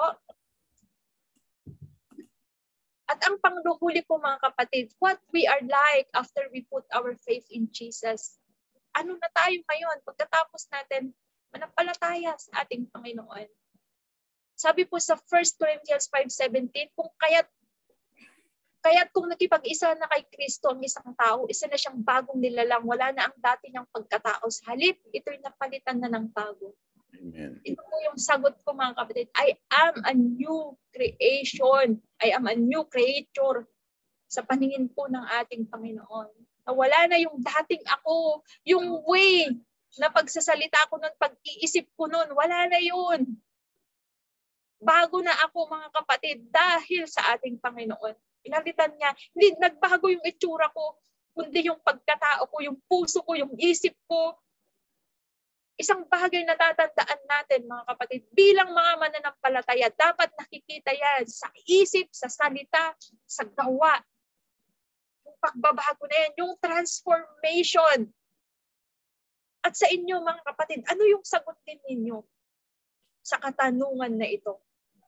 At sana po bawat isa sa atin makita yung pagbabago, kung ano yung buhay na pinago ng Diyos sa bawat isa sa atin. Amen.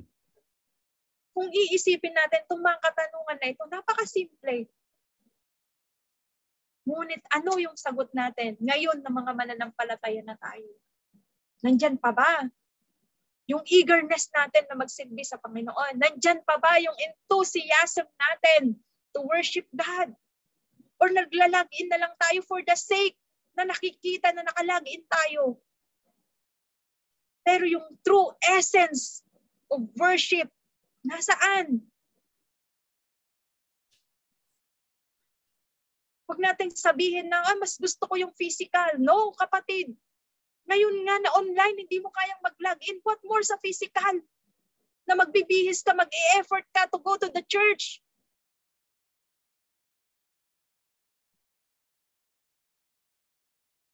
There is no difference, mga kapatid. Kung talagang gusto nating magpuri sa Diyos, gusto mong purihin ang Panginoon, walang rason para hindi ka makapagpuri sa Panginoon. Amen. Napakasimple na lang, mag-login na lang tayo sa phone, sa computer, sa iPad. It's so easy mga kapatid. Makakapag-join na tayo. Pati Bible study, hindi na natin kailangan pumunta kung saan mag sa church para mag-Bible study. Sa online. Pero mabibilang pa sa daliri kung sino yung umaattend ng Bible study. Ayaw ba natin mag-grow? Ayaw ba natin maranasan yung buhay na pinago ng Diyos? Pinago na ba tayo ng pandemya, mga kapatid? At ano yung pagbabago natin? It is for the better ba or for the worst? Ano yung transformation natin bilang mananampalataya? It must be for the better, mga kapatid. Hindi doon yun po, nawa tayo. Ang topic po ng buong book of Galatians, the righteous shall live by faith. Amen. Nakagawa ba natin ito? Are we living on our faith? Sa everyday life po natin, are we living on our faith? Nakot po kanina ni Pastor na dapat focus tayo sa Panginoon, looking unto Jesus, the author and the perfecter of our faith. Dapat yun tayo mga kapatid. Huwag nating sabihin na binago ako ng pandemya na ito. Nagkaroon ako ng anxiety, nagkaroon ako ng depression. Yes. Lahat mga kapatid, nakakaranas niya. Ngunit mas malala ang epekto niyan kung wala kang Jesus. Kung wala ang Diyos sa buhay mo. Kung wala yung pananampalataya mo sa Panginoon. The only thing that you can battle depression and anxiety is through Jesus. His word, mga kapatid. Salita ng Panginoon. Wala na pong iba. Believe me, dahil ako, I've been battling depression, anxiety, suicidal tendencies for 10 years. More than 10 years, mga kapatid. Lahat yan naranasan ko. But the time that I committed my life, truly committed my life to Jesus, nawala lahat yan mga kapatid. At sino ang ginamit ng Panginoon para po makawala ako? Hindi sa sarili ko lamang, may mga tao na ginamit ang Panginoon. Hindi ko na po kailangan banggitin, pero may mga tao ang ginamit ng Panginoon, mga kapatid hindi nagpapasalamat ako sa Panginoon na itong mga tao na to na ginamit ng Panginoon for me para makawala po ako sa lahat ng mga tanikalan na yan. At tayo din mga kapatid, sabi nga sa kanta, I have decided to follow Jesus. No turning back, no turning back. The world, the cross before me, the world behind me, no turning back no turning back. Lahat sana tayo mga kapatid, yun yung motto natin. I have decided to follow Jesus. No turning back. No turning back. Yun po yung challenge natin ngayon mga kapatid sa bawat isa. Looking forward tayo mga kapatid for the eternal life, for that inheritance. Amen. Ipagkakaloob ng Panginoon sa atin. No turning back no turning back. Amen. Hallelujah. Manalangin po tayo mga kapatid. Purihin ka, Panginoon. Puri ka, Panginoon. Napakabuti mo po sa buhay namin, oh God. Thank you for the gift of faith, Lord. For your grace, oh God. We don't deserve it, Panginoon. Pero pinagkaloob mo pa rin, Panginoon. Marami pong salamat, Lord, sa iyong bugtong na anak, Panginoon.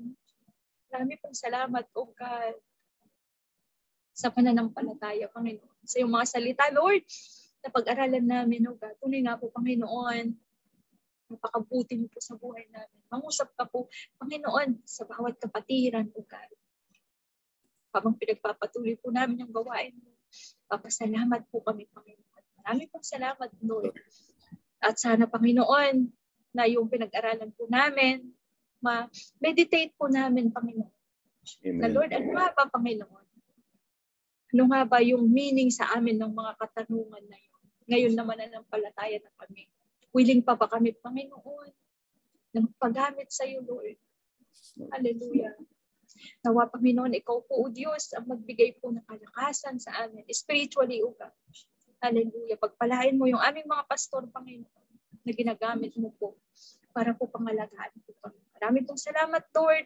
Ito pong aking hinihiling sa pangalan ng aming Panginoong Jesus, kaisa ng banal na Espiritu. Amen. Amen. Hallelujah. Amen. Amen. Amen. Panginoon, mga kapatid. Amen. Salamat po, Ate Presi. God bless you. Thank you for the words. Thank you for the encouragement. Uh, let's pray. Para God in heaven, thank you Lord for Ate Presi. Dalangin ko po Panginoon ng iyong pagpapala, Panginoon, siksikliglig umapaw sa aming kapatid si Ate Presi that as you continue to use him might use her mightily, Lord, not only in worship team, uh, even Lord in preaching. And uh, I pray, Lord God, that not only in in preaching but in in uh, other ministries, Panginoon, ay gamitin mo po siya, kanyang asawa, si Kuya Berhil, at maging ang kanilang mga anak, Panginoon, na nasa Pilipinas, Panginoon, gamitin mo rin po sila, Panginoon, para po sa iyong glory, Panginoon. Pagpalain mo po sila, Panginoon, uh, lahat ng kanilang mga uh, mga pangangailangan, Panginoon, ikaw po mag-provide. Especially, Panginoon, yung mga pangangailangan po nila, Lord God, na hindi po nila kayang gawin sa kanilang mga sarili, Panginoon. And I especially commit to you, um, Ate Presi, Lord God, for her good health, Panginoon. Healing be upon her, Panginoon, completely. Because we, we, uh, we long for uh, kung paano mo gagamitin pa ng patuloy, Panginoon, si Ate Presi para po sa pagpapalago, sa ikalalago, Lord God, ng iyong ubasan at sa ikalalago po ng bawat isa na makakapakinig sa Kanya. Maraming maraming salamat, Lord. This we pray in your mighty name, our Lord and Savior, Jesus Christ. Amen and Amen. Praise the Lord. Salamat po, Ate Presi. Thank you for the words. And uh, yan. Now po, brothers and sisters, I'd like to exhort tithes and offering. Uh, I think nakikita nyo na sa screen nyo yung aking tithes and offering. Ito po yung mga verses na nais ko pong ilahad in 2 Corinthians chapter 9 verse 6. Ang sabi po diyan, remember this, whoever sows sparingly will also reap sparingly and whoever sows generously will also reap generously. So this is uh, uh, the, the principle of, of uh, sowing and reaping. This is true sa mundo. This is also true sa ating spiritual. No? Kung ano yung ating tinanim, ay siya rin nating aanihin. Of course, if wala tayong tinanim, wala rin tayong aanihin. But you know what? Thanks be to God because by His grace, even though in, in the beginning, wala naman tayong tinanim, ngunit umani tayo ng ng uh, blessing ng pagpapala, umani tayo ng buhay na walang hanggan how through our faith. We can say na yung ating faith, yun ang naging tanim, no? Naging or sabi natin naging buto, no? Na yayabong yung ating faith na lalakas. At dapat yung ding ating faith na yan should cause us to be able to give. Okay? Again, this is exhorting, not extorting. So kaya nga sinasabi ko, if tayo magbibigay, much better if, if magbibigay tayo ng bukal sa ating kalooban instead na napipilitan lamang. 2 Corinthians chapter 9 verse 7, each of you should give what you have decided in your heart to give, not reluctantly or under compulsion, for God loves a cheerful giver. So kung tayo po yung magbibigay, bigay po natin kung ano yung dinidictate po ng ating puso. Not hindi yung dahil tayo napipilitan, hindi yung tayo magbibigay ng ng uh, ng hindi bukal sa kalooban natin because uh, hindi po magiging maganda yun para sa atin. Let us always remember that God, our God, He knows our heart. So when we give, let's give what is yung napag-decide natin sa ating puso na ibigay so that we will be able to give cheerfully. Because if it doesn't come from our heart, we will not be able to give cheerfully. So yan po yung kinakailangan pagka tayo po magbibigay. And in verse 8, ang sabi po, God is able to bless you abundantly so that in all things and at all times, having all that you need, you will abound in every good work. Kaya naman mga kapatid, ang ating pong Panginoon, yes, He will bless us. Um, however, yung blessing na yan, may purpose pa rin. And that, the purpose is not uh, to make us super rich, no? Well, kayang gawin yan ng Diyos. But however, yung blessing niya, ang purpose is so that magamit ka niya. So ibig sabihin, yung blessing na ibibigay niya sa'yo, may purpose yun para magamit ka.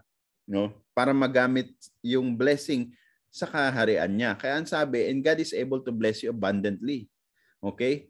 Walang labis, walang kulang. Actually, abundantly is is labis pa nga, you know? So that in all things and at all times, every time in all things and all times, having all that you need, you will abound in every good work. Kasi I believe if if we will think of it this way, okay? Ang uh, tayo uh, para makatulong tayo genuinely to do good work, no? Makatulong tayo dun sa ating kapwa. I believe ang desire ng Lord na tayo yung sitwasyon natin nasa maayos. Praise the Lord kasi meron tayong mga kapatid na even though sila din mismo nangangailangan ng tulong, pero nagagawa pa rin nilang mag-extend ng tulong. Kagaya nga nung sabi ni Ate Presi kanina, di ba? Sampu silang magkakapatid. Yung father niya is siya yung senior pastor. Ang father niya walang trabaho. Ang ang bumubuhay din sa sa father niya is syempre yung mga nanggagaling din sa church, no? And even though ganun na yung sitwasyon nila, um, medyo salat na sila, hikaos na sila sa pagdating sa kanilang finances, andiyan pa yung mga membro, 'di ba? Binibigay yung yung mga anak kasi yung mga membro hindi na sila yung mga membro rin mismo hindi na nila kayang uh, uh, itaguyod yung kanilang mga anak. No, nakita nandoon yung faith nila na tanggapin even though sila rin mismo kailangan ng tulong pero nandun pa rin na tumutulong pa rin sila. Kaya really very commendable po yung mga ganun mga ganong sitwasyon. And really, God knows the heart, no? Yung reward natin is nasa heaven. And pero kung titignan natin itong sa, hindi ko sinasabi na mali yun, tama po yun. But that is, that is, um, kailangan mo talaga yung faith mo is very strong. Pero dito po sa ini-explain ko sa 2 Corinthians chapter 9 verse 8, ang sinasabi po dito is so that in every good work, sabi diyan, so that in all things at all times having all that you need, you will abound in every good work. So ibig sabihin, ang nais ng Diyos is isaayos tayo. Alam mo 'yun? 'Di ba pagka yung sa competition, for example, yung Olympics, ikaw lalaban ka ba sa sa competition nang hindi ka ready? Diba? Ganun ang ginagawa ng Lord. Nire-ready ka. Binibless ka niya so that you will be ready. So that when He He calls you to do some good works, alam mo yun, yung, yung ready ka. Hindi ka yung talagang, kumbaga sa, uh, imaginein mo, for example, si Kuya Kenneth, uh, parang nandito ata si Kuya Kenneth. Di ba sa EMS, sila Kuya Kenneth sa ambulance, sa rescue paano ka makakapag-rescue kung eh, let's say ikaw din mismo eh, eh handicap, let's say pilay ka, baka ik- mangyari ikaw pa ang i-rescue. Na-gets niyo yung ibig kong sabihin. So, for me, at one, one thing to look at itong verse 8 ng 2 Corinthians chapter 9, our God wants us to abound, no? So that in all things, at all times, having all that you need. So, lahat ng kailangan natin, ina-abound ng Lord, binibigay ng Lord so that we will abound in every good work. Kapag kailangan nating tumulong, no? Kailangan natin na atayuan yung pinagagawa niya sa atin. Yun po, brothers and sisters. Uh, I hope and pray na naintindihan niyo po yung nais ko pong i-convey patungkol po sa ating tithes and offering. And kung meron po tayong uh, tithes and offering na ibibigay, uh, padaan lang po natin, message niyo lang po ako and I will come and collect that. Of course, yung pong ating binibigay po ng tithes and offering is, sabi nga po ni Ate Presi kanina, is may trabaho naman po ako. So, yung tithes and offering po natin, that is not for me. That is first for the church kasi meron tayong mga binabayarang mga mga upa sa mga uh, uh, other utilities like yung karama at internet ng church. And secondly, sa pagtulong dun sa mga nangangailangan, no? Yun po yung purpose. Kaya po yan po yung ilagay po natin sa isipan natin pagka tayo magbibigay. Hindi kayo nagbibigay kay Pastor Aldrin, ano? Hindi uh, ang umawak ng ating panalapi ay si Brother Allen. Nandiyan ata si Brother Allen. No, and uh, yung ating panalapi, hindi yun para sa akin. Ngunit para sa mga sa church yun at sa mga uh, activities ng church at sa mga uh, pagtulong sa mga pag-reach out ng church, especially doon sa mga hindi pa uh, nakakilala sa ating Panginoong Isus. Amen? so praise the Lord. Uh, okay, stop ko yung sharing ko. Yan. Okay. So, kung meron, sabi ko nga, kung meron kayong uh, tithes and offering, please message me and I will come and collect them. Praise the Lord. Let's pray. Father God in heaven, thank you, Lord. Thank you sa uh, mensahe na aming narinig. Salamat po, Panginoon, uh, sa exhortation na ipinagkaloob mo sa amin, Lord.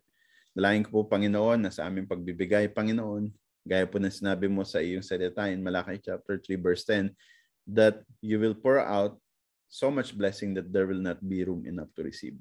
Lord, we are not after blessing, Lord God, uh, but Lord, we know that alam mo lahat ang aming mga pangangailangan and we know, Panginoon, Lord God, that as we put our trust, our faith in you, Panginoon, that as we we are readying ourselves, Panginoon, to do every good work, you will abound us in everything, Panginoon. Lord, yan po ang dalangin ko na mapangyari. That every one of us will abound, Panginoon, in, in all things that we need so that we will also abound every good works, Panginoon. Alam mo po kung anong aming mga pangangailangan, Panginoon. Hindi lamang basta panalapi, Panginoon, meron din po kami mga pangangailangang uh, kagalingan pisikal. Maring hindi po sa amin, maring sa aming mga kaanak. Lalo na, Panginoon, sa panahon ngayon, kung saan uh, nagkalat ang sakit na COVID, Panginoon, sa mga ka, kapatiran po namin, Panginoon, na dumaranas o, o merong uh, or affected, Panginoon, ng COVID-19, hindi man sila yung kanilang mga mahal sa buhay, mga kaibigan, mga kakilala, Lord, we pray for them, Panginoon. We remember them in our prayer, Panginoon. Bigyan mo po, Lord God, ng kagalingan, Panginoon. Maraming salamat, Panginoon, dahil patuloy, Lord God, ang iyo pong pag-encourage sa amin, Panginoon. At Lord, tulungan mo po kami na magawa po namin, Panginoon, na makapagbalik sa iyo, Panginoon. na makapagbigay sa iyo, Panginoon. Sabi nga po in 2 Corinthians chapter 9 verse 7 that we will give according to what our hearts has decided to give. Panginoon, tulungan mo po, Panginoon, ang aming puso, Panginoon, na makapagbigay, Panginoon, ng taus-puso. Maraming maraming salamat, Lord. This I pray in your mighty name, our Lord and Savior Jesus Christ. Amen, amen. Praise the Lord. so, magandang, uh, anong oras na? Magandang tanghali na po pala. Uh, good afternoon, brothers and sisters. Um, with regards to our uh, activities sa church, every Saturday, meron po tayong intercessory prayer. Every uh, 8.30 p.m. po nag-start yan. So kung meron po kayong prayer request, ang dalangin ang ang request ko sa inyo is ipagbigay alam niyo na po as soon as possible. Huwag niyo na pong antayin na na mag-message pa ako tanungin kayo kasi pagka ganun, pag nagme-message na ako sa inyo ibig sabihin late na 'yun. No. Kasi kina-consolidate ko lahat ng prayer request para organize yung ating pagpi-pray pagdating ng Saturday. Saturday 8:30. So may prayer request kayo, please let let us know. Message niyo lang po. Hindi hindi hindi naman necessary sa akin kung nahihiya kayo sa akin you can uh, approach your leader, yung mga leader po ng ministry niyo. Like for example, sa worship team, ang leader niyo ay si Kuya, Kuya Jeff. Ang music team director si Kuya Jeff. Sa singles, si Ate Kes. sa, sa couples, si Kuya Kenneth, si Ate Sherry. So please let them know. You can let them know or you can also send it directly to me. Okay? Uh, so and then Sunday meron na uh, BE Bible School. So exam natin ha mga mga classmate, exam natin sa Sunday. So, uh, pasensya na hindi hindi ako nakasama sa pag-review dahil talagang busy talaga. Um, pero uh, siguro titignan ko lang yung mga magiging answer nyo kasi kailangan ko rin ng ano baka hanggang ngayon hindi ko pa rin nasasagutan yung aking unit exam saka yung aking project. Uh, and also so that is Sunday so Sunday Monday uh, meron pa rin po tayong uh, Bible study, no? Purple Book Bible Study at uh, Tuesday couples ministry, meron po tayo. Pero that is as per ano po yan na as per advice ni Kuya Kenneth. Depende kasi yan sa kung may trabaho po si Kuya Kenneth or wala. So Kuya Kenneth, uh, please advise na lang kung kasi makita mo naman, 'di ba? So a day before at least uh, adva- ma-advisean mo kung merong couples uh, Bible study or wala. And then uh, uh, Wednesday, Ate Presi, yung Bible study po ni Ate Presi. So for now, um, ang ginawa po nila is uh, sumasama na rin sila dun sa my Monday Bible study because um, uh, for now si y- may mga ilang kapatid pa lang naman na nakaka-join no. So siguro pagka dumami na so that's the time na uh, sa Wednesday na uli yung Bible study ng Purple Book. Pero yun yung dinidesign natin na hindi lang isa yung Bible study natin na dumami. No, yung mga nag ma-attend dun sa Bible study na dumami yun, mga anak, no. Yun kasi yung nais natin. Eh, hindi naman tayo hindi hindi natin gusto na monotonous na paulit-ulit na lang. Ang gusto natin ay dumami tayo because what is the purpose kung tayo-tayo lang, no?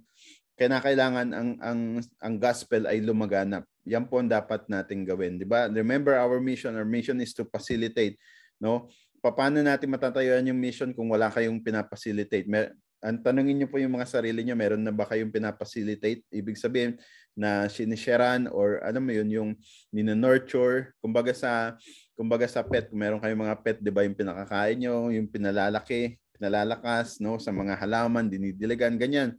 Dapat meron po tayong ganun na na pinapacilitate natin, na pinifeed natin ng salita ng Diyos. And that is your crown. Magiging crown nyo po yan. No? Pagdating po ng ng Panginoong Isus in the second coming. Eh, malapit na po yan. Ang sabi niya sa inyo, well done, my good and faithful servant. Amen? so, and then of course, Thursday, preparation po natin para po sa Friday worship service. And uh, today, Friday worship service natin every 10 a.m. At mamaya po may practice po ang worship team at recording at yan po ay doon po gagawin mismo sa ating sa ating new church bila no? Mamaya po yung 2 PM kaya yun 1209 so uh, kain lang in NBS and then go na. Oh I remember Ate Susan uh, Kuya Jeff nandiyan ba si Kuya Jeff? Kuya Jeff Kuya Jeff. Mm, oh nandiyan si Kuya Jeff. Kuya Jeff Uh, si Ate Susan kasi nag ano siya nag gusto niyang nag-desire siya mag-member sa worship team. Uh, backup singer, I believe yun ang desire ni Ate Susan. So Ate Susan, mamaya po may practice uh, 2 p.m. Kung available ka po is pwede ka po pwede ka pong uh, ano uh, mag-join, no? At uh, siguro kung ano sabay ka na lang kay na Ate Presi. Ate Presi kung available si Ate Susan, daanan niyo na lang po. Alam niyo naman yung lugar niya. Ayan. So kayo na po bahala mag-usap diyan. At uh, uh, regarding po our face-to-face, uh, alam niyo po naka-receive po ako ng email from from ICAC Core na on uh, September 2 or September 3 meron pong meeting. Actually, tatlong meeting yun kasi dinivide ng ICAC yung mga meeting sa mga Indians and Nepalis. Yun yung isang araw. Tapos yung Friday sa mga Filipino uh, pastors, senior pastors. Tapos yung isang araw pa dun sa other nations kagaya ng mga Grace Fellowship, yung mga British ano sa mga American ata yung mga yun. So dinivide nila yung meeting. Ang pag-uusapan doon I believe related sa face to face. Kaya although wala pa rin pong go signal na binibigay, pero pag-pray po natin yan na magkaroon na ng ng face to face kung hindi man limited lang. And uh, dini, tayo rin dinidesire din natin na magkaroon na ng face to face. So hopefully maging positive yan yung meeting na yan. So by September makapag-start na tayo ng kung hindi naman I believe hindi 100% yan na face to face baka limited face to face lang. Pero hindi siguro hindi natin iwawala yung Zoom naka-zoom pa rin siya although nandun tayo sa worship hall pero naka-broadcast pa rin siya via Zoom. Yan po yung nakikita ko na mangyayari. Ayan. So i-update ko po kayo as as soon as meron akong ma- makuhang impormasyon. Pero isama po natin sa panalangin yan yung ating pong face-to-face na worship service. At patuloy rin po natin isama sa panalangin ang ating pong motherland, ang Pilipinas. No? Um, kasi marami, patuloy pa rin yung COVID-19 uh, lalo na yung Delta yung Delta variant na yan. Doon nga sa amin sa Maynila, doon po sa barangay namin, uh, marami na po doon mga nagkaka nagkakaroon ng ng ano na naahawahan ng uh, coronavirus. Hindi naman doon sa barangay namin na kagaya nung isang kapitbahay namin kasi kailangan nilang pumunta sa PGH dahil yung inoperahan yung kanilang yung kanyang anak So no choice eh, dahil doon nahawa sila. Kaya yung PGH sinara na yung PGH ginawa na lang para sa mga may coronavirus. So ganun sa mga ganong pagkakataon nagkakaroon ng kahawahan. Kaya sabi nga ng mother ko baka i-lockdown yung barangay namin. Pero yung mga pa, yung mga parents ko naman sa kapatid ko, sa katyahin ko, okay naman sila. So let us continue to pray for everyone, no? Kagaya po si Ate Elizabeth, I hope na magaling na yung kanyang mga yung mother niya sa kanyang mga kapatid. I hope nakauwi na sila. If hindi pa, patuloy natin silang isama sa ating mga prayer. Yung mga yung mga kaanak po natin, yung mga nandirito po from Philippines, patuloy po uh, natin silang ipag-pray. Amen. Yan lang yan lang po yung ating announcement, brothers and sisters. Praise the Lord. So, okay. So, let's pray. Our God in heaven, Lord, we thank you for this wonderful day. Truly, Lord, this is the day that you have made for every one of us. This is the Lord's day. Maraming maraming salamat po, Panginoon, sa pagkakataon ng pinagkaloob mo sa amin every every week, Panginoon, nandito, Panginoon, pa rin ang gawain, Lord God, na wala man ang aming physical, Lord, na gawain, Panginoon, but uh, Lord, we can continue through our online face-to-face worship service, Bible study, uh, prayer meeting. Maraming maraming salamat, Panginoon, because in the midst of it all, in our midst, Panginoon, ay nandiyan ka po parati, parating gumagabay, nag-encourage, parating nagbibigay ng kalakasan sa mga nanghihina namin, Panginoon, na, na, na mga kaisipan, ng hina namin, even physical, Panginoon.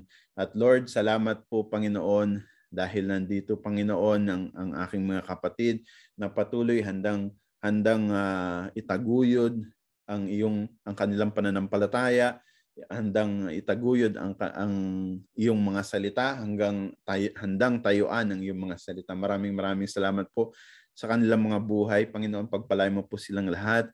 Hindi po alam, Panginoon, ang mga circumstances ng kanilang mga buhay. May mga kanya-kanya po kaming mga dinaranas, Panginoon. Ngunit bilang bilang pastor, Panginoon, na iyong tinalaga, Panginoon, dito sa JR King Church, Panginoon, I desire, Lord God, na lahat po sila, Panginoon, ay maging nasa mabuting kalagayan. Kaya naman, Panginoon, sila po ay ipinauubaya ko po sa iyong mapagpalang kamay, Panginoon. Whatever, Panginoon, yung kailangan nila, Panginoon, really, if it is according to your will, let your will and purpose be done in their lives, Panginoon. Lord, tulungan mo po sila, gabayan mo po sila, palakasin mo po sila, Panginoon, nang sa gayong Panginoon sila man po ay maging kalakasan din po namin, Panginoon, at lalong-lalo na ng mga nangangailangan, Panginoon. Maraming maraming salamat, Panginoon.